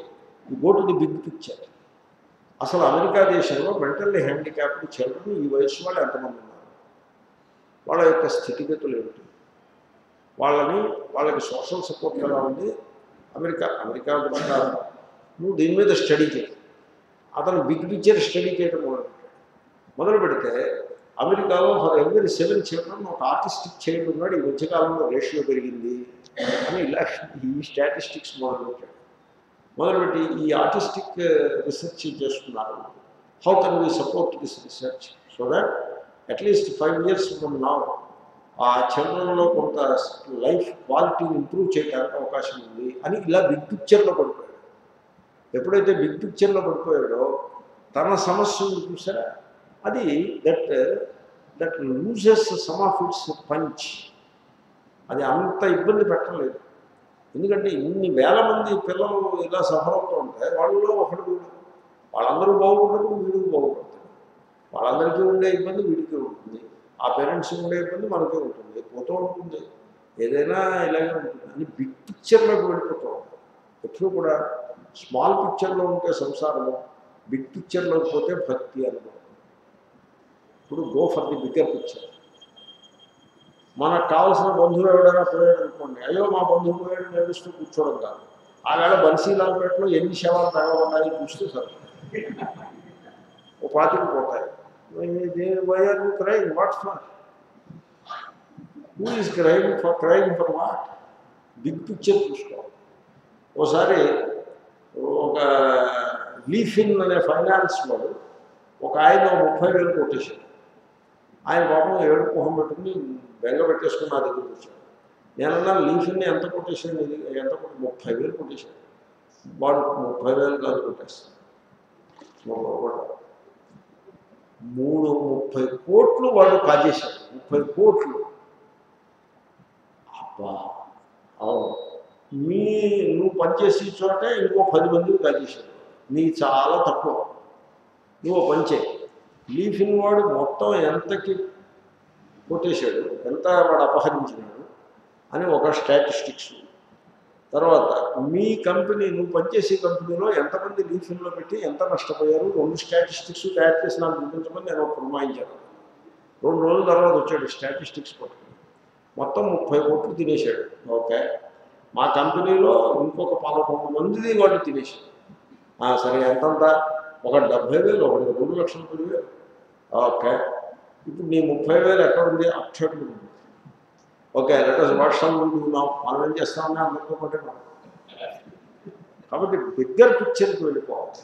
స్మాల్ పిక్చర్లో వెళ్ళిపోవాలి. నేను నాది అనే small picture me and my family syndrome అంటారు.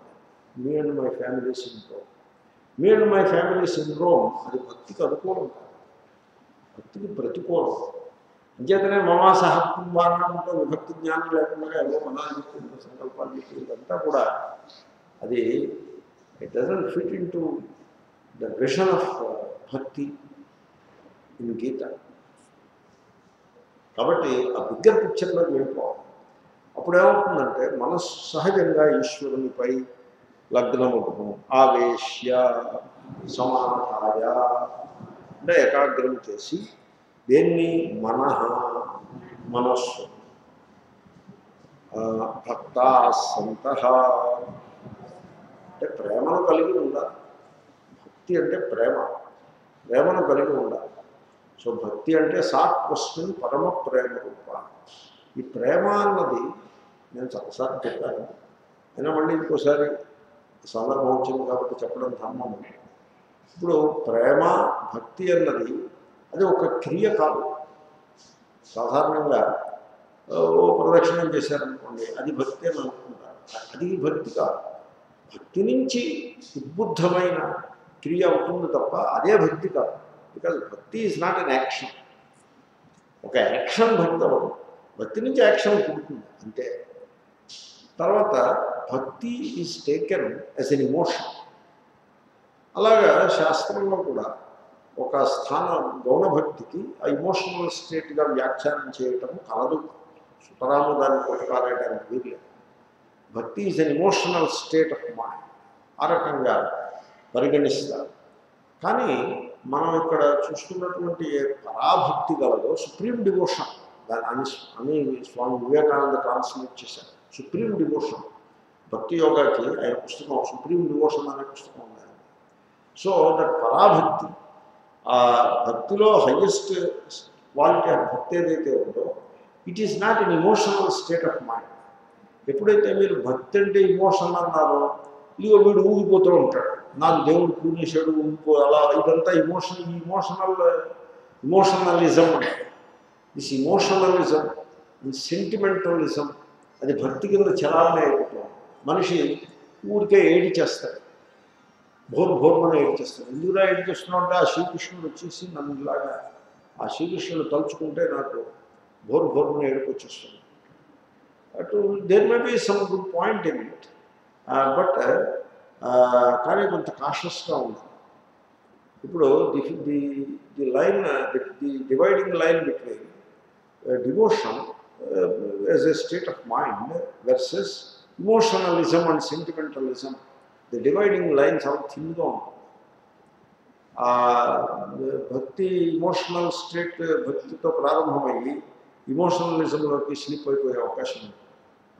Uh, సో అలాగే భక్తి పేరుతోటి అబాండన్మెంట్ అని అంటే అది భక్తి పేరుతోటి ఒళ్ళు తెలియకుండా ఆవేశం అయిపోతూ ఉండడం ఉంటుంది చూసారా? అబాండన్మెంట్ ఉంటుంది చూసారా? అది మంచిది కాదని పెద్దలు సలహా చెప్పారు.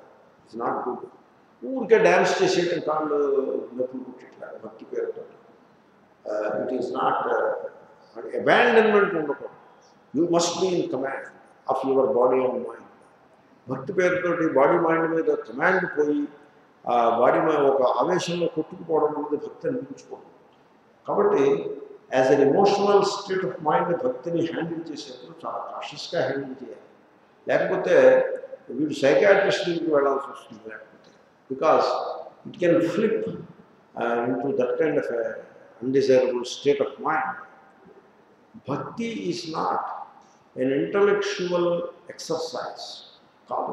పాండిత్యము పాండిత్య ప్రకర్ష. భక్తి శాస్త్రాలన్నీ వాళ్ళు తెలుగు లేకపోతే భగవద్గీతని పాండిత్య స్ఫోరకంగా వ్యాఖ్యానం చేయడం అది ఆ పాండిత్యం భక్తి కాదు. It is not an intellectual acumen intellectual accomplishment కాదు భక్తి మరి ఇంకేమిటి భక్తి? భక్తి ఇంకేమిటంటే నువ్వు మీరు వీటన్నిటికీ అతీతమైన అంటే దేహాభిమానాన్ని వెనక విడిచిపెట్టేస్తారు మైండ్కి అతీతంగా పోతారు. మనసు ఏకాగ్రమైపోతుంది. అంటే mind becomes no mind. Intellect ఎక్కడ దరిదాపుల్లో ఉండదు. మీరు అలాగా ప్యూర్ సైలెంట్ బీయింగ్గా ఉండిపోతారు. ఆ silence of the being silent being అనండి లేకపోతే సైలెన్స్ ఆఫ్ ది బీయింగ్ అనండి అంటే ఎప్పుడైతే మనస్సు అమనీభావాన్ని పొందుతుందో అంటే మనస్సు మనస్సు కాకుండా అయిపోతుందో చలనం లేకుండా అయిపోతుందో అటువంటి శుద్ధమైన నిశ్చలమైన సద్ సద్రూపంగా చిద్రూపంగా శుద్ధ చైతన్య స్వరూపంగా మీరు నిలిచి ఉన్నప్పుడు ఆ ఆ being the love of that being ఆ శుద్ధ చైతన్య నిష్ఠ ఏదైతే కలదో దాని మీద ఉండే ప్రేమ దానికి భక్తి అని. సో ఆ విధంగా దాన్ని నేను సగుణం నుంచి నిర్గుణానికి మధ్యలో ఉన్న స్లోగా దాంట్లో మార్చేశాను నేను మొత్తానికి. So it it moves like that. That is the moment అది మీకు సాధన అన్నది పరిపక్వంపై అయిపోయి సాధ్యమై కూర్చుంది అంచేతనే సాధ్యభక్తి అంటారు. సాధన భక్తితో ప్రారంభమయ్యి అదే సాధ్యం అయిపోతుంది కాబట్టి భక్త్యా సంజాతయా భక్త్యా అంటారు కాబట్టి ఆ ఆ దిశలో భక్తి నడిచేట్లా చూడాల్సి ఉంటుంది. భక్త. అటువంటి ప్రేమ కలిగినటువంటి వారు మాం ఉపాసతే నన్ను ఉపాసిస్తున్నారు ఆ నన్ను అనే పదాన్ని శంకరులు వ్యాఖ్యానం చేస్తారు. సర్వయోగేశ్వరాణం అధీశ్వరం. సర్వజ్ఞం విముక్త రాగాది క్లేశ తిమిర ఇది మాంకు విశేషణం. మాం అంటే ఈశ్వరుడికి విశేషణాలు ఈశ్వరుణ్ణి మనం ఆ విధంగా ఉపాసన చేయాలి. ఈశ్వరుణ్ణి ఒక కరప్ట్ పోలీస్ ఆఫీసర్ లాగా ట్రీట్ చేయకూడదు. అంటే ఏంటి? మనం ఈశ్వరుణ్ణి మనం ఈశ్వరుణ్ణి ఏదో పూజలో చేసిస్తే మనకి భోగాలన్నీ అలాగే ట్రాఫీలన్నీ ఇచ్చేస్తాడు. మన శత్రువులకి ఏమి ఇవ్వకూడదు. అని ఆ రకంగా ట్రీట్ చేయకూడదు ఈశ్వరుడు ఆయన శంకరులు ఏమంటున్నారంటే ఈశ్వరుని మీరు ఎలా చూడాలి? విముక్త రాగాది క్లేశ తిమిర దృష్టి అన్నట్టుగా చూడాలి. ఈశ్వర దృష్టి వర్సెస్ జీవ దృష్టి అని ఉంటాయి. ఈశ్వరుడు దృష్టి ఈశ్వరుడు ఎలా చూస్తాడు జగత్తు? జీవుడు ఎలా చూస్తాడు? ఇగో వీడు మనవాడు వీడు పరాయివాడు. దాన్ని రాగము. మనవాడంటే రాగము పరాయివాడంటే ద్వేషము. తర్వాత ఈ జగత్తుని ఆ జీవుడు ఎలా చూస్తాడు? ఇది నాది. అస్మిత అంటారు ఇది నాది అస్మిత తర్వాత సో ఇటువంటి వీటికి క్లేశములు అని పేరు చిత్త క్లేశములు అని పేరు.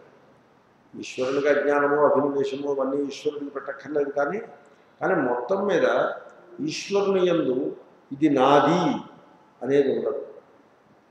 దేని ఎందు? ఇది నాది అనేటువంటి స్వప్నభావన ఈశ్వరుని ఎందు ఉండదు. తర్వాత ఈశ్వరుడు ఎవరిని పనిపెట్టుకుని ప్రేమించడు ఎవరిని ద్వేషించడు. కాబట్టి ఈశ్వరుడు మావాడు మేము చోజన్ పీపుల్ వాళ్ళేమో ఈశ్వరుని యొక్క భక్తులు కాదు వాళ్ళు ఈశ్వరుని చేత తిరస్కరించబడిన వారు అని సమాజాన్ని మానవ మానవాళిని మతం పేరుతోటి వర్గం పేరుతోటి దేవుడి పేరుతోటి ముక్కలు చేయటం అనేది అది అజ్ఞానము కలిగిన జీవదృష్టి అవుతుంది తప్ప ఈశ్వర దృష్టి అవ్వదు ఎందుకంటే ఈశ్వరుని దృష్టిలో మతాలు ఇన్ని ఉండవు వర్గాలు ఉండవు కులాలు ఉండవు ఏమీ ఉండవు.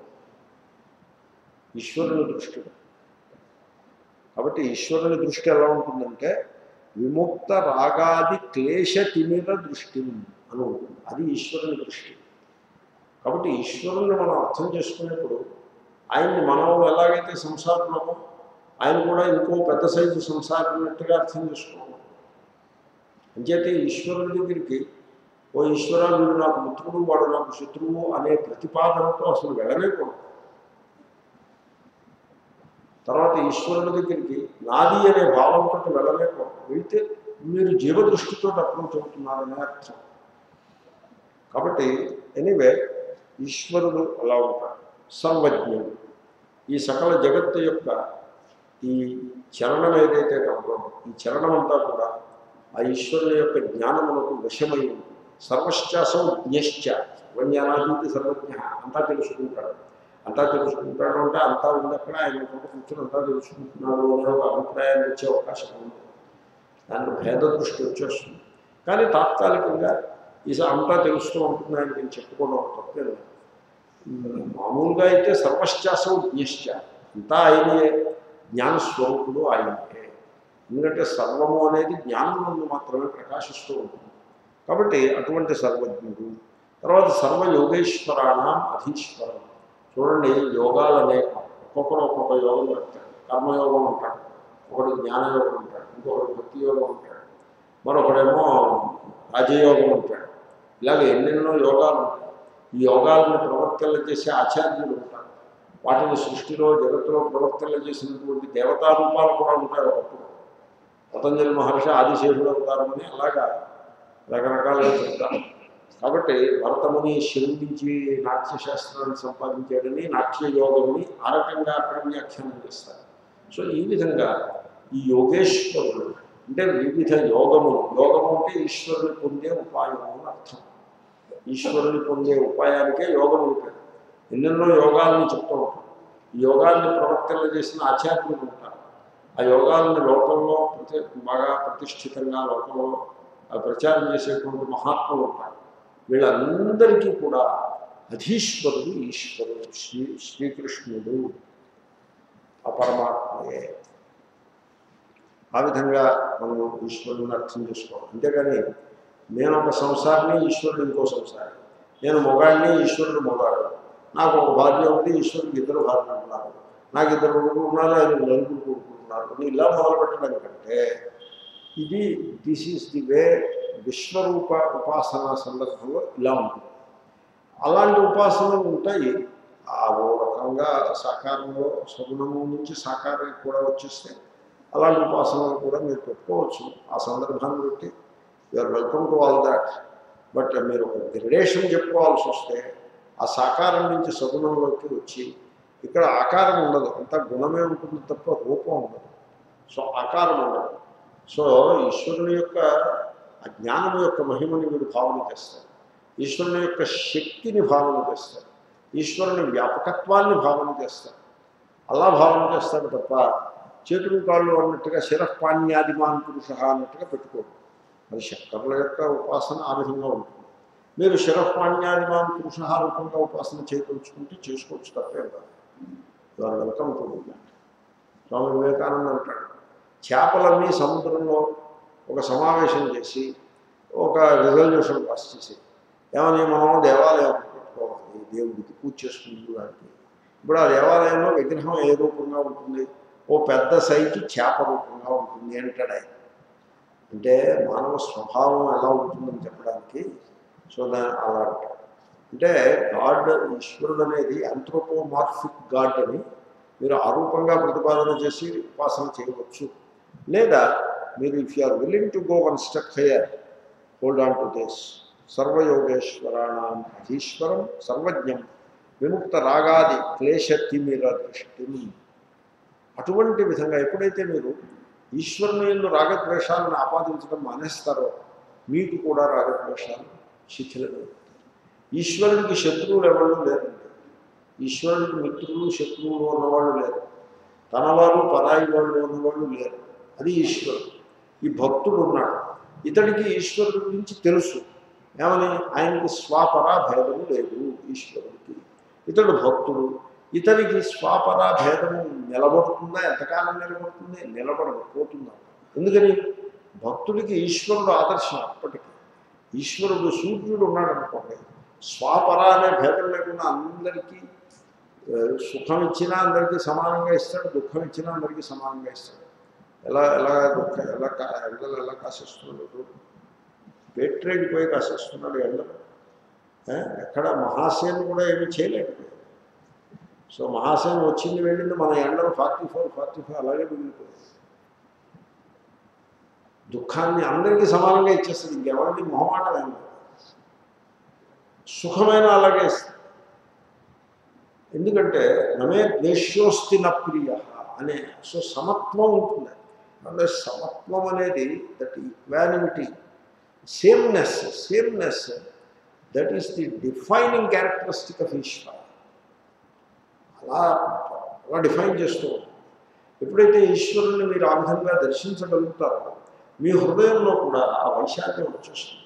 మీరు అంచేతనే బుద్ధస్తమానం ఈశ్వరుడు వీళ్ళని కొట్టాడు వాళ్ళని చంపాడు వీళ్ళని కాపాడాడు వీళ్ళకి వరాలు ఇచ్చాడు వాళ్ళని మూతులు పడేశాడు అని ఆ రకంగా అలాగా పర్మనెంట్గా రాక్షసులు శత్రువులు దేవతలు ఆయన ఈ రకంగా ఈశ్వరుణ్ణి ఒక పక్షపాతి కింద తయారు చేసి పెట్టుకుని ఆయనకేదో సింబాలిజం ఉందని మనసులో ఉండే సత్సంకల్పాలు దేవతలు దుష్ట సంకల్పాలు రాక్షసులు ఆత్మ చైతన్య రూపంగా ఉండే ఈశ్వరుని అలాగే నేను దాన్ని సర్దుబాటు చేసుకుంటే పర్వాలేదు కానీ బుద్ధస్తమానం అదే కథ పెట్టుకుని అలాగే మీరు యథార్థంగా చూసుకుంటే ఈశ్వరుని యొక్క ఆ సమత్వము అనేటువంటి విషం ఏదైతే ఉంటుందో దానికి దూరం అయిపోతుంది. దూరం అయిపోతే ఈశ్వరుడికే లేదు సమత్వం ఇంకా భక్తుడికి ఎక్కడి నుంచి వస్తుంది? తెలుగులో ఏదో సమత్వం ఆవు చేలో వేస్తే దూడ గట్టు మీద వేస్తుందా? ఈశ్వరుడికే లేదు సమత్వం ఈశ్వరుడే ఓ పక్షాన్ని ఉంటాడు ఇంకో పక్షాన్ని ద్వేషిస్తాడంటే మేము మాత్రం ద్వేషించకుండా ఎందుకు ఉండాలి? మేము ద్వేషిస్తాం. ఆయన మేము పూజించేవాడే ద్వేషించినప్పుడు మేము ఎందుకు ద్వేషించకూడదు. మేము పూజించేవాడికే రాగం ఉన్నప్పుడు మాకెందుకు ఉండకూడదు? అలా కాబట్టి ఈశ్వరుని యొక్క పరిభాష చాలా ఉన్నతోన్నతంగా ఉన్నట్లయితే ఆ భక్తి చాలా ఉన్నత స్థాయికి ఆటోమేటిక్గా చేరుతుంది మంచిది. ఇంకా ఎలా ఉండాలి? భక్తి ఉపాసన. ఉపాసన భక్తున్నా ఒకటే. ఉపాసన అనేది కొంచెం వైడర్ మీనింగ్ ఉంది. దానికి శంకరులు మీనింగ్ చెప్పబోతున్నారు కూడా. ఇంకో విశేషణం వేశారు. నిత్యయుక్త నిత్యయుక్తులై ఉపాసన చేయాల్సి ఉంది. చూడండి నిత్యయుక్తులు అంటే ఆ యోగము యోగం అంటే ఈశ్వరునితో సంబంధము ఏర్పరుచుకున్నారా ఏమిటి ఆ సంబంధము? భక్తి. భక్తి అనే త్రాటి ఓ మహాకవి అన్నాడు. ఓ ఈశ్వర నీవు నాకు ప్రియతముడవు. నేను భక్తి అనేటువంటి గుణముతో గుణము అంటే త్రాడు. భక్తి అనే గుణముతో నీ పాదపద్మములను కట్టివేసినాను. నువ్వు ఇంకా నా హృదయం నుండి ఎక్కడికి కదలలేవు. కాళ్ళు కట్టేస్తే ఇంకెక్కడికి వెళ్తాడు? అని అంటాడు మహాత్ముడు కాబట్టి ఈశ్వరుని ఈశ్వరునితోటి ఆ కనెక్టెడ్నెస్ కనెక్ట్ అయి ఉండాలి. ఈశ్వరునితో సంబంధాన్ని ఏర్పరచుకోవాలి. ఆ సంబంధం ఎటువంటిదై ఉండాలి? నిత్య సంబంధం అయి ఈశ్వరునితో నిత్య సంబంధం ఉండాలి. ఇది భక్తి శాస్త్రంలో చాలా ప్రధానమైనటువంటి అంశం. మనం ఎలా ఉంటామంటే సంసారంలో ఉంటూ ఉంటాం. ఇప్పుడు దీనికోసం గృహస్థు సన్యాసి అని పెద్ద విషయం కాదు. ఇప్పుడు సన్యాసే ఉన్నాడు అనుకోండి వాడు కూడా ఈ ఆశ్రమానికి నేను కట్టుబడి ఉన్నాను అనుకుంటాడే తప్ప ఈశ్వరునితో నిత్య సంబంధం పెట్టుకోవడం అంత తేలిక కాదు. నేను ఈ ఆశ్రమానికి చెందిన వాడు నిద్రలు ఈ ఆశ్రమం నాది. ఈ ఆశ్రమానికి నేను చెందిన వాడను అని ఆ విధంగా సంబంధం పెట్టుకుంటాడు తప్ప ఈశ్వరుడితో సంబంధం పెట్టుకుంటాడు నిత్య సంబంధం అలా ఉండదు. మన సంబంధం ఎలా ఉంటుంది? గుళ్ళోకి వెళ్ళినప్పుడు రెండు నిమిషాల సంబంధం. గుళ్ళోకి రాగానే పోయింది. సంబంధం సంసారంతో ఉంటుంది. దాన్ని పరిశీలనలో పెట్టుకోవాలి. కాబట్టి ఎలా పరిశీలించుకోవాలంటే ఈ సంసారంలో నాకు సంబంధము అనిత్య సంబంధమే తప్ప నిత్య సంబంధము లేదు. సంసారంలో సంబంధం ఉంటుంది. ఏమనుంటుంది నేను ఈ ఈ స్త్రీకి నేను భర్తను ఈ పిల్లవాడికి నేను తండ్రిని ఈ పెద్ద ఆయనకి నేను కొడుకును అంటూ ఇవి ఇలాంటి సంబంధాలు ఉంటాయి. ఈ సంబంధాలు సంబంధాలు? అనిత్య సంబంధాలు కాబట్టి ఓ కాలంలో వస్తాయి మరో కాలంలో పోతాయి. ఆ ఉండాల్సినంత కాలం కూడా ఉండవు. మధ్యలో ఏదో దెబ్బలాట్లో దెబ్బలాడుకుంటే అక్కడే అక్కడికి అదే అక్కడే పోతుంది ఈ సంబంధాలు చాలా అల్పంగా ఉంటాయి చాలా చాలా చిన్నవిగా అంటే చాలా వీక్గా ఉంటాయి. వీక్ ఫోర్సెస్ అని వేటర్ వాల్స్ ఫోర్సెస్ లాగా ఉంటాయి. వాటిలో ఏం పసు ఉండవు. ఆ సంబంధాలు. మీకు నిత్య సంబంధం ఎక్కడ ఉంటుందండి? మీ హృదయంలో చైతన్య రూపంగా ప్రకాశిస్తున్న ఈశ్వరుడితో ఉంటుంది నిత్య సంబంధం. కాబట్టి ఈశ్వరుడితో నిత్య సంబంధాన్ని పెట్టుకోవాలి. హే హే నాథ హే ఈశ్వర నేను నీ అనే నిత్య సంబంధం పెట్టుకోవాలి. కాబట్టి ఆ సంసారంతో సంబంధం పెట్టుకోవాలి. ఇది భక్తిలో రావలసిన ఒక ప్రధానమైన పరిపక్వత. భక్తులు చాలా కష్టం. తేలిక కాదు ఇప్పుడు ఒకడు ఉంటాడు నేను ఇంకా సంసారం పెట్టుకోనండి నేను ఇంక స్పిరిచువల్ లైఫ్లో వచ్చేస్తున్నాను. ఓకే సో వాట్ వాంటుడు ఇంకేమైనా ఉద్యోగం చేయను ఇంటికి వెళ్ళను భార్యతో భార్య పిల్లలు ఇంకా నాకేం అక్కర్లేదు నేను ఇంకా దేవుడే నాకు సంబంధం అని good meaning. Is a great man it is not easy to give up. అలా త్యాగం చేయడం అంత సరళం కాదు కఠినమైన విషయం. ఎంతో కమిట్మెంట్తో త్యాగం చేస్తారు. త్యాగం చేసి ఓ ఆశ్రమంలో లైబ్రరీ ఇన్ఛార్జ్గా వదిలిస్తుంది ఏమంటే లైబ్రరీ ఇన్ఛార్జో లేకపోతే కిచెన్ ఇన్ఛార్జో లేకపోతే కొఠారి మొత్తం ఆశ్రమానికి ఇన్ఛార్జో ఏదో పనిచేస్తూ ఉంటాడు. కర్మయోగ విచ్ ఇస్ ఫైన్ కానీ సంబంధం ఎక్కడ? సంబంధం అంటే హృదయంలో ఉండే భావం భావ భావం తద్భవతి. మనిషిని భావము మనిషి యొక్క జీవితాన్ని లౌకిక జీవితం కానీ ఆధ్యాత్మిక జీవితం కానీ ఆ జీవితాన్ని శాసిస్తూ ఉంటుంది భావం అనేది. మనిషి భావం ఎలా ఉంటుంది? ఈ ఆశ్రమమునకు నేను చెందినవాడు అని తనను తాను ఆశ్రమానికి సంబంధం పెట్టుకుంటాడు. కట్టివేసుకోవడం సంబంధం అంటే లేదా ఆశ్రమం నాదనుకుంటాడు. అరే ఆశ్రమాన్ని పట్టుకోవడం కోసమా ఇల్లు ఇల్లు పెట్టి వచ్చింది? ఆశ్రమంలో ఉంటాము. ఆశ్రమానికి కావాల్సినటువంటి పనులన్నీ రెస్పాన్సెస్ అన్నీ అవుతూ ఉంటాయి. ఏ పని ఆగదు. కానీ సంబంధం ఎక్కడ గలదు కహా బంధే హుయేహో మన ఇప్పుడు కెరటం ఉంటుంది. కెరటం తీరానికి వస్తుంది. బీచ్లోకి వస్తుంది. ఇసుక మీదకి వస్తుంది. తీరాన్ని ఢీకొంటుంది. తీరం మీద బాగా పైకంట పాకుతుంది. కానీ అది ఎంత వేషాలు వేసినా ఎంత డ్యాన్స్ చేసినా కూడా కెరటానికి తీరంతో సంబంధం ఎన్నడూ ఉండదు. ఘటానికి సంబంధం సముద్రంతో ఉంటుంది. సముద్రంలోనే పుట్టింది సముద్రం ఉందే మనుగడ మళ్ళీ సముద్రంలోనే కలిసిపోతుంది. కాబట్టి కెరటము తీరంతో సంబంధం పెట్టుకుంటారని అనుకోవడం ఎంత అవివేకము మనము ఈ సంసారంతో సంబంధం పెట్టుకుంటారనుకోవడం అంత అవివేకం. అందుకే సంసారంతో సంబంధము అది ఉండదు. మీరు అజ్ఞానం చేసి పెట్టుకుంటే పెట్టుకోండి కానీ ఉండదు అది. అలా మొక్కలైపోతూ ఉంటుంది ఆ సంబంధం. ఈశ్వరునితో సంబంధం పెట్టుకుంటే ఆ సంబంధం నిత్య సంబంధం. ఇప్పుడు కాబట్టి నిత్య సంబంధాన్ని పెట్టుకునే ఉపాయం ఏమిటి? నిత్య సంబంధాన్ని గుర్తించడమే నిత్య సంబంధాన్ని పెట్టుకోవడం. కొత్తగా పెట్టుకునేది ఏమీ లేదు. నిత్యయుక్త. దీనికి రెండు రకాలుగా చెప్పచ్చు. అధ్యాత్మంలో నిత్యయుక్తత్వము అంటే నిరంతరమైన అంటే బ్రేక్ లేకుండా ఈశ్వరునితోటి సంబంధాన్ని పెట్టుకోవడానికి సో యదేవ దేవ కురితే తదేవ మంగళాయ. లాభం కలిగినా నష్టం కలిగినా లౌకిక దృష్ట్యా లాభం కావచ్చు నష్టం కావచ్చు. కానీ భక్తుడి యొక్క దృష్టిలో నష్టము లేదు లాభ నష్టానికి అతీతమైన దృష్టిలో ఉంటాడు. ఇది మనకి ఈశ్వరుడు చేశాడు. అని ఈశ్వర సంబంధాన్ని పెట్టుకుంటాడు. సుఖం వచ్చినా ఈశ్వర సంబంధమే దుఃఖం వచ్చినా ఈశ్వర సంబంధమే.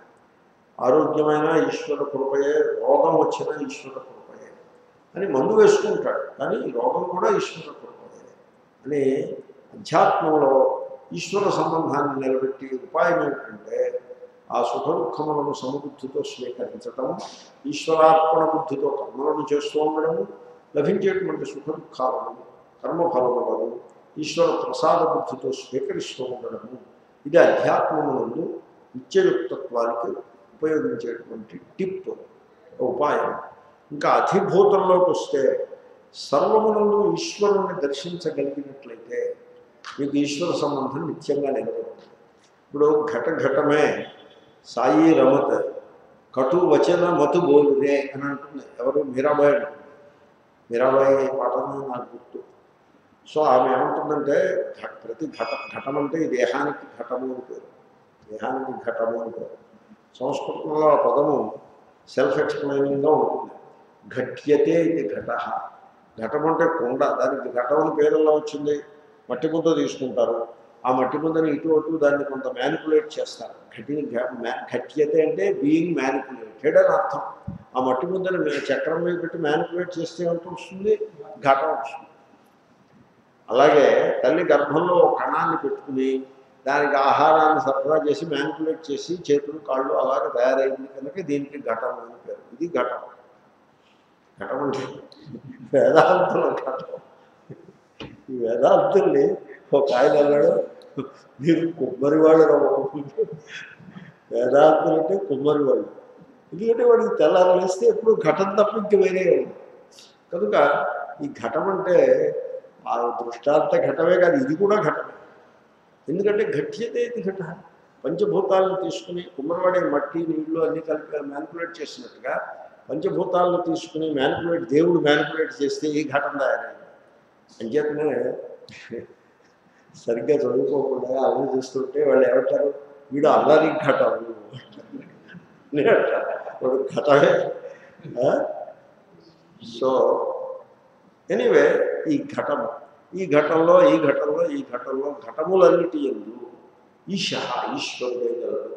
ఈ సాయి అంటే తిరగేస్తే సాయి ఏంటండి ఈషహాయే ఈషహ తిరగేసి ఏమొస్తుంది అంటే కొంచెం మీరు ఆ శాస ఇంకా అలాంటివి పెట్టుకోకుండా తిరగేస్తే సాయి అవుతుంది సో ప్రతి ఘటములందు కూడా ఈశ్వరుడు ప్రకాశిస్తున్నాడు. కటు వచన మత బోధ పరుషమైన మాటలు ఒక పలకద్దు. ప్రేమగానే మాట్లాడు. పరుషంగా పలకలేనట్టు ఎందుకంటే పరుషవచనము ఎవరిని ఉద్దేశించి పలికినా ఆ ఘటనలో ఉండే ఈశ్వరుడికి అది ఆ ఈశ్వరుణ్ణి మీరు విస్మరించాలి. లేకపోతే కటువచనాన్ని పలకలేదు. సపోజ్ ఇది గుర్తుపెట్టుకుని కటువచనమే పలకలేదనుకోండి అంటే ఆ ఈశ్వరుని నుంచి మీరు పక్కకి జరగలేదన్నమాట. ఆ నిత్య సంబంధాన్ని నిలబెట్టుకున్నట్టు అవుతుంది. శంకర నిత్యయుక్త అతీతానంతరాధ్యాయాంతో శ్లోకార్థన్యాయేన సతతయుక్త సంత ఆ నిత్యయుక్తత్వాన్ని సాధించడానికి శంకరులో టిప్ ఇస్తున్నారు ప్రాక్టికల్ టిప్స్ ఇవన్నీ కూడా. భక్తి అంటే చాలా ప్రాక్టికల్ ఇదేం థియరిటికల్ కాదు వెరీ ప్రాక్టికల్. సో శంకరులు అంటున్నారు ఎలాగంటే ఈ నిత్య సంబంధం పెట్టుకోవడం ఎలాగా అంటే మీరు ఒక పని చేయండి. గడచిన అధ్యాయం. గడచిన అధ్యాయం అంటే పదకొండు అధ్యాయాలు గడిచేయండి అంటే అలా కదా? ఇమీడియట్లీ బిఫోర్ అతీత అనంతర అధ్యాయం. గడచిన అంటే పదకొండు గడిచే కానీ ఇమీడియట్లీ బిఫోర్ ఏది ఉంది పదకొండు. అది తీసుకో. అధ్యాయం ఆఖరిలో శ్లోకం ఉంది. అది పట్టుకో. ఆ శ్లోకం అర్థాన్ని ఆకలింపు చేసుకో. నీ జీవితాన్ని ఆ అర్థమునకు తగ్గట్టుగా నడిపించుకో. న్యాయేనా అంటే నడిపించుకునే పద్ధతి. జీవితాన్ని ఒక నడిపించేటువంటి ఫిలాసఫీ ఆఫ్ లైఫ్ ఆ శ్లోకం నుంచి నువ్వు తీసుకో. మత్కర్మ కృత్. ఏ పని చేసినా ఈశ్వరార్పణ బుద్ధితో చేయుట పాఠం చెప్పినా ఈశ్వరార్పణ బుద్ధే కాఫీ తాగినా ఈశ్వరార్పణ బుద్ధే నీళ్ళు తాగినా ఈశ్వరార్పణ బుద్ధి భోజనం చేసేప్పుడు మీరు ప్రార్థన చేస్తారు. స్వాహాకారంతో ఈశ్వరాత్మ బుద్ధితోనే భోజనం చేయాలి. మెకానికల్గా చేయడానికి వీలు లేదు. బుద్ధిని ఏకాగ్రం చేసి మనస్సుని పెట్టి చేసుకుంటూ ఉండాలి. సో ఈశ్వరాత్మ బుద్ధితో చేయడం ఏ పని చేసినా మత్కర్మ మన డ్యూటీ ఉంటుంది రెస్పాన్సెస్ ఉంటాయి. మనం ఒక సందర్భంలో ఓ రకంగా రెస్పాండ్ అవ్వాల్సి ఉంటుంది. ఆ టైంకి అలా రెస్పాన్స్ రెస్పాండ్ అవ్వాల్సి ఉంటుంది. ఇప్పుడు గుమ్మంలోకి ఎవడో వస్తుంది మంచినీళ్ళు తాగా తా ఇవ్వాల్సి ఉంటుంది. సో ఆ రెస్పాన్స్ని వీడెవడో వచ్చాడు మనకు కావాల్సిన వాడు కాబట్టి మంచినీళ్ళు ఇద్దాం లేకపోతే ఇంకొకటికి అయితే ఇవ్వక్కర్లేదు అని అలాగే రాగద్వేషాలు పెట్టుకోకుండా ఈశ్వరార్పణ బుద్ధితోటి వాడికి మంచినీళ్ళు ఇవ్వడం. వాడు తిట్టివాడైనా మంచినీళ్ళు తాగవా? మనకే ఒకప్పుడు మంచినీళ్ళు కాఫీ తాగు. ఆ తర్వాత మళ్ళీ దెబ్బలాడచ్చు తిట్టచ్చు. బలం వస్తుంది ముందు తీసుకో. ఎందుకని నేను తిట్టడానికి నేను వచ్చిందంటే పర్వాలేదు తింటూ కానీ తీసుకో కాఫీ తీసుకో. కాఫీ తీసుకున్న తర్వాత తింటూ కానీ కాదు నువ్వు నేను నిన్ను తిట్టడానికే వచ్చాను పర్వాలేదు. నేను ఎక్కడికి వెళ్ళాను హ్యావ్ కప్ ఆఫ్ కాఫీ అని మీరు అన్నారనుకోండి అది ఈశ్వరార్పణ బుద్ధితో ఏ పని చేసినా శత్రువులు కూడా శత్రువులు కూడా ఈ ఈశ్వరుని దర్శించడానికి అవకాశం ఉన్నది. కల్టివేట్ చేసుకోవాలి. నేను చిన్నప్పటి నుంచి చదువుతున్నా ఆ శ్లోకం ఆ- పద్యం అది అనుభవానికి వస్తే అయిపోయింది వాడు జీవన్ముక్తులైపోతాడు అపకారికి నెపమన్నక ఉపకారం చేయని వాడు నేర్పరి వాడు అపకారం చేశాడు వాడు వచ్చాడు. ఇగో నువ్వు అప్పుడు నాకు అపకారం చేసావు కదా అని నెపం ఎన్నద్దు. వాడు ఏదో ఉపకారం కోసం వచ్చాడు చేసేది కొంతమంది అలా ఉంటారు. వాళ్ళు చేసిన అపకారాన్ని టక్కుని మరిచిపోతారు. మళ్ళీ పని వస్తే వీడి దగ్గరికి వెళ్తే మన పని అయిపోతుందని పరిగెత్తులకు వస్తుంది ఇప్పుడు ఏం చేయాలి? ఇప్పుడు ఒకరి దగ్గరికి వెళ్తే వాడు మంచినీళ్ళు ఇవ్వలేదు. పరాభవమే చేశాడు. వాడు మర్చిపోయాడు. వేడా తర్వాత వాడే పరిగెత్తుకొచ్చాడు. అప్పుడు ఏం చేయాలి? చక్కగా వాడికి మంచినీళ్ళు ఇచ్చి కాఫీ ఇచ్చి కొంత దక్షిణ కూడా ఇచ్చేవనా పంపు ఫలం ఉంటే ఇచ్చేది వాడికి ఏదైనా కోరుకుంటే ఆ కోరిక తీర్చుకోమని అది భక్తి అంటే అలా భక్తి అంటే మన వాళ్ళు దాన్ని రిచువల్ ఈజ్ భక్తి అనే విధంగా డిఫైన్ ఎప్పుడైతే చేసేసారో bhakti is identical to ritual ritual is identical to bhakti అని ఎప్పుడైతే భక్తి అంటే స్పిరిట్కి భక్తి అని పేరు. Ritual is the physical action versus the spirit behind that action is bhakti. ఆ డిస్టింక్షన్ మెయింటైన్ చేయకపోతే ఇంత కలగాభంగం చేసి పెడితే రిచువలే భక్తి అనే విధంగా మీరు నడిపిస్తే అది భక్తి చాలా వీక్ అయిపోతుంది ఉంటుందో. పిసరు కానీ చాలా వీక్గా ఉంటుంది. కాబట్టి జ్వలంతమైన భక్తి కావాలన్నట్లయితే ఆ మత్కర్మకృత న్యాయం న్యాయము అంటే జీవించే పద్ధతి జీవన శైలికి న్యాయము అంటే. సో మత్కర్మకృత మత్పరమ ఈశ్వరుని పొందుట లక్ష్యం. కాబట్టి ఈశ్వరుణ్ణి మీరు పొందకపోతే ఏం పొందుతారు? సపోజ్ ఈశ్వరుని పొందుట లక్ష్యం కాదండి ఏం ఏమిటి లక్ష్యం ఏమిటి చెప్పండి ఏమిటి లక్ష్యం డబ్బు ఏం చేస్తారండి డబ్బు క్యా కరోగే భయ్ బుద్ధు హే ఏం చేస్తారు డబ్బు ఓ అరవై లక్షలు ఎక్స్ట్రా సంపాదించాడు ఏం చేస్తాడు కూర్చుని రూపాయలు తింటాడా ఆ డబ్బు యొక్క విషయం తెలియకపోతే మూర్ఖులుగా జన్ము ధనం వెనకాల పడతారు ధనపరమా ఏం తీసుకుంటారు. ధనాన్ని. ఎవరో దాన్ని ఇంకోడెవడో దాన్ని వినియోగిస్తారు. వీడు సంపాదించిన వాడు తినేది ఉండదు పెట్టేది కాబట్టి సంపాదించే సమయంలో మనకి ఎంత అవసరమో అంత సంపాదించడం మన అవసరం అట్టి పెట్టుకుని దాన్ని వితరణ చేసేస్తూ ఉండడం పోగేయకుండా ఉండడము ఫ్రీగా ఉండడము అలా చేస్తే ఈశ్వరునిపై పరమత్వం సహజంగా వస్తుంది.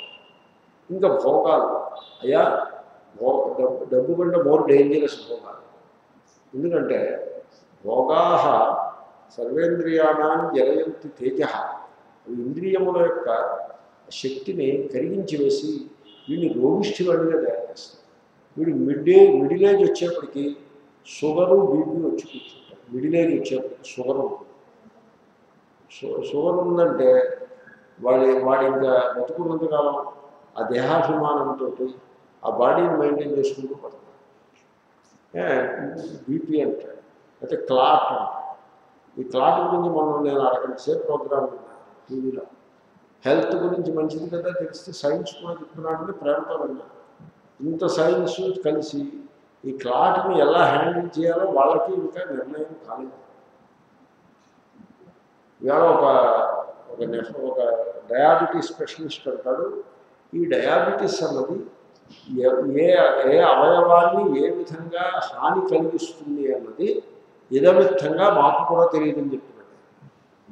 అది ఒకళ్ళు లేవర్ని కొట్టేస్తుంది ఇంకొకళ్ళు హార్ట్ని కొట్టేస్తుంది మరో కన్నుని కొట్టేస్తుంది. అది ఏ అవయవాన్ని కొట్టేస్తుందో ఒక ఒక ప్రయారిటీ కింద ఒక లిస్ట్ కింద మనం చేసుకోదలుచుకుంటే దానికి ఏదైనా మనం ప్రొటెక్షన్ అనేది చేసుకోవచ్చు కదా యూ నెవర్ అది ఎక్కడ ఎలా దెబ్బతీస్తుందో తెలియదు. అది వస్తుంది ముందు భోగాల వల్ల. భోగము మీరు ఇంద్రియముల యొక్క ఇంద్రియములను మోతాదు నుంచి భోగములో ప్రవేశపెడితే ఏ క్షణంలో ప్రవేశపెడితే ఆ క్షణంలో చెంప మీద కొట్టినట్టుగా మనకి ఫలం కనుకుంటూ ఒక్క పిసరు కక్కుర్తిపడి కొంచెం ఎక్కువ భోజనం చేస్తే కడుపులో పోటు అరగంటలో వచ్చేస్తుంది. కాబట్టి భోగ భోగాలని పట్టుకుని వేలాడడం అజ్ఞానం. ఇంకేం మిగిలిందండి? ఈ సంసారంలో ధనము వ్యర్థము భోగములు హాని ఇంకేం మిగిలిందండి? క్యా రఖా హే దునియాలో హై ఏం మిగిలింది ఇంకా? కాబట్టి ఇంకా there is no option there is no choice choice ఏముంది మీకు? There is no choice only one path that is be devoted to Ishwara ఇంకా వేరే పాతే లేదు అసలు. ఛాయిస్లే లేదు. కనుక మత్పరమ. అది ఆ న్యాయం మీకు ఒకసారి గుర్తు చేస్తున్నా. మత్కర్మ మాత్రం మత్పరమ. మత్పరమ. మద్భక్త. ఈశ్వరుని ప్రేమించడం నేర్చుకోవాలి. సర్వవ్యాపకంగా సర్వమునందు అలా ఝలక్ ప్రకాశిస్తూ ఉండేటువంటి ఈశ్వరుణ్ణి ప్రేమించడం నేర్చుకోవాలి. ఆ- అది గొప్ప ప్రేమ. సకల ప్రాణుల యందు ఆ ఈశ్వరుని యొక్క విభూతి చూసే నేర్పే ఉంటే ఆ ఆ విభూతి మీకు సకల ప్రాణుల అలా గోచరిస్తూ దాన్ని గుర్తుపట్టగలిగితే అది భక్తి. తర్వాత సంగవర్జిత ధన పుత్ర మిత్ర కళత్ర వస్తు వాహన ఇత్యాదులందు సంఘం అనేది దేని మీద సంఘం? ఉండదు. సంఘం ఆసక్తి అనేది దేని మీద ఉండదు కంఠాయామకి గులం మీద కప్పుకున్న కండువ మీద కూడా ఆసక్తి ఉండదు భోజనం చేసే ప్లేటు మీద కూడా ఆస ఇది నా ప్లేటు అని అన్నాడంటే ఆసక్తి. నా ప్లేటు అంటాడు ఏమంటే ఈ స్టీల్ కంటే వెండి మంచిదేమో అంటాడు నెక్స్ట్ స్టెప్ వెండి కంచంలో భోజనం చేస్తాడు. వెండి కంచంలో మధ్యలో బంగారు పువ్వు పెట్టుకుని ఎందుకు బంగారు పువ్వు వెండి కంచం? ఆకులో భోజనం చేస్తే అయిపోయా? దీన్నే చేతిలో పెట్టేస్తే తినేస్తే అయిపోయి. దీనికోసం వెండి కంచం మళ్ళీ దాన్ని కడుక్కుని భద్రం చేయడం వాళ్ళు ఎవరో కాపలా కాయడం. సంసారాన్ని ఎలా ఎందుకు కాపలా కాయాలి కాబట్టి అసం అసంగ ఆత్మస్వరూపము అసంగము భక్తుడు ఈశ్వరునికి అటాచ్ అయి ఉంటాడు తప్ప సంసారానికి అటాచ్ అయి ఉండడు. సంగవర్జిత నిర్వైర సర్వభూతేషు. ఏ ప్రాణి ఎడల వైరం అనే మాట ఇప్పుడు దోమలు కొడతాయి దోమల మీద వైరం చేస్తాను దోమల మీద వైరం చేయాలి. దోమలు కుట్టినప్పుడు దోమతని కట్టుకుంటాం. అంతే. అంతేగాని దోమల్ని ద్వేషించటము దోమల మీద వైరం చేయటము దోమల నిర్మూలన సంఘానికి పిసగంటం ఇవన్నీ అనవసరం. ఓ దోమతను కట్టేసుకుంటే దాని పని అవుతుంది నిర్వైర సర్వభూతేషు. ఆ విధంగా మనకు అపకారం చేసి వాళ్ళు కొంతమంది దోమలాగా కుడుతూ ఉంటారు. కుట్టి వాళ్ళ ఎడల కూడా వైరబుద్ధి లేకుండా. ఇది న్యాయం. ఈ న్యాయాన్ని మీరు ఆచరించండి. ఆచరిస్తే ఏమిటవుతుంది? సతతయుక్త సంత అంత్యయుక్తత్వం అనేది సహజంగానే సిద్ధించేస్తుంది ఉపాసతే ఉపాసన చేయాలి ఈశ్వరుని ఆ విధంగా ఉపాసించాలి ఉపాసించడం ఏమిటో తర్వాత శ్లోకంలో వస్తుంది అంటే నిత్య సంబంధం పెట్టుకోవడానికి ఉపాసన అంటే ఎలా ఉపాసించాలి శ్రద్ధయా పరయా ప్రకృష్టయా ఉపేతా అంటే శ్రద్ధ అంటే నమ్మకం కాదు. శ్రద్ధ అంటే నమ్మకం కాదు. నమ్మకం అని అనుకుంటారు కొంత ఏదో కొంత ఎంతో కొంత విశ్వాసం ఉండొచ్చు మీకు.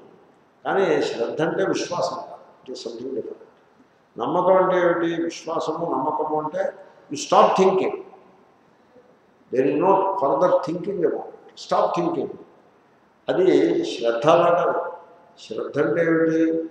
దాన్ని అర్థం చేసుకునేందుకు వీడు సమధికమైన ఉత్సాహంతో ప్రయత్నం చేస్తాడు. దాన్ని శ్రద్ధ.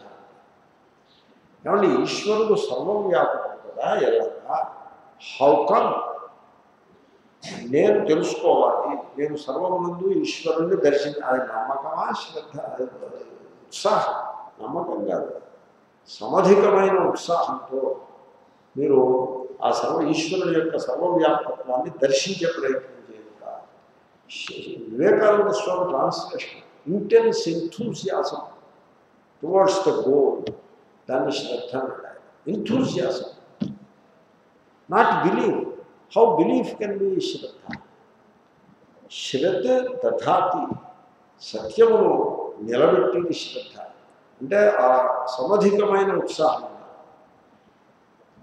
కేవలము ఆ, ఆ, వ్యతిరేక బుద్ధితో తిరస్కరించే బుద్ధితో అప్రోచ్ అయితే సత్యం దూరంగా పోతుంది. ఉత్సాహంతో దీన్ని నేను తెలుసుకోవాలి. ఈ సంసార సంబంధాన్ని నేను కట్- డౌన్ చేసి ఈశ్వర సంబంధాన్ని నేను నెలకొల్పుకోవాలి. అన్నప్పుడు ఆ శ్రద్ధ ఆ ఉత్సాహం లేకపోతే దట్ వోంట్ హ్యాపీ ఉత్సాహం లేకపోతే హ్యాపీ అవ్వదు. ఇప్పుడు మీరు మ్యాథమెటిక్స్ నేర్చుకోవాలనుకుంటే నేను కొంచెం ఇతర వ్యాసంగాలు కట్టిపెట్టేసి మిగతా ఇంగ్లీష్ పేపర్ చదవడాలు టైం వేస్ట్ చేయడాలు ఇవన్నీ ఆటలు పాటలు కట్టిపెట్టేసి నేను ఆ మ్యాథమెటిక్స్ నేర్చుకోవాలి దాని మీద నేను ప్రేమగా ఉండాలి అని దిగుతాడు. దిగితే ఫస్ట్ చాప్టర్ పెర్ముటేషన్స్ అండ్ కాంబినేషన్స్లోనే ముఖం ఒత్తేస్తున్నాడు. అదే వీడికి తలపోటైపోతుంది అసలు రెండో చాప్టర్కి వెళ్ళడానికే ఉండదు. అక్కడ వీడి శ్రద్ధ బయటకు సరే కానీ దీన్ని మనం అవకాశంగా దీన్ని మొత్తం చేద్దాం. తెలిసినంత తెలిసిన ముందు కడుగు వేద్దాం. అని నెక్స్ట్ చాప్టర్ బైనామియల్ తెలుగులో వెళ్తాడు. తర్వాత పార్షల్ ఫ్రాక్షన్స్ తర్వాత మల్టీనామియల్ థీరం అలాగే ఆల్జీబ్రా ప్రాంతాల్లో స్టడీ చేస్తుంటే ఒక ఆరు నెలలు అయ్యేప్పటికి దాంట్లో మీకు రసం అనుభవానికి వస్తుంది. మిమ్మల్ని ఆరు నెలలు దాంట్లో నిలబెట్టేది శ్రద్ధ. శ్రద్ధ నిలబెడుతుంది మొదటి రోజే ఏదో అవ్వాలంటే అవ్వాలి. కాబట్టి అటువంటి ప్రేమ అటువంటి ఇంటెన్స్ ఎంథ్యూసియాసం టోటల్ కమిట్మెంట్ దాన్ని శ్రద్ధ అంటారు.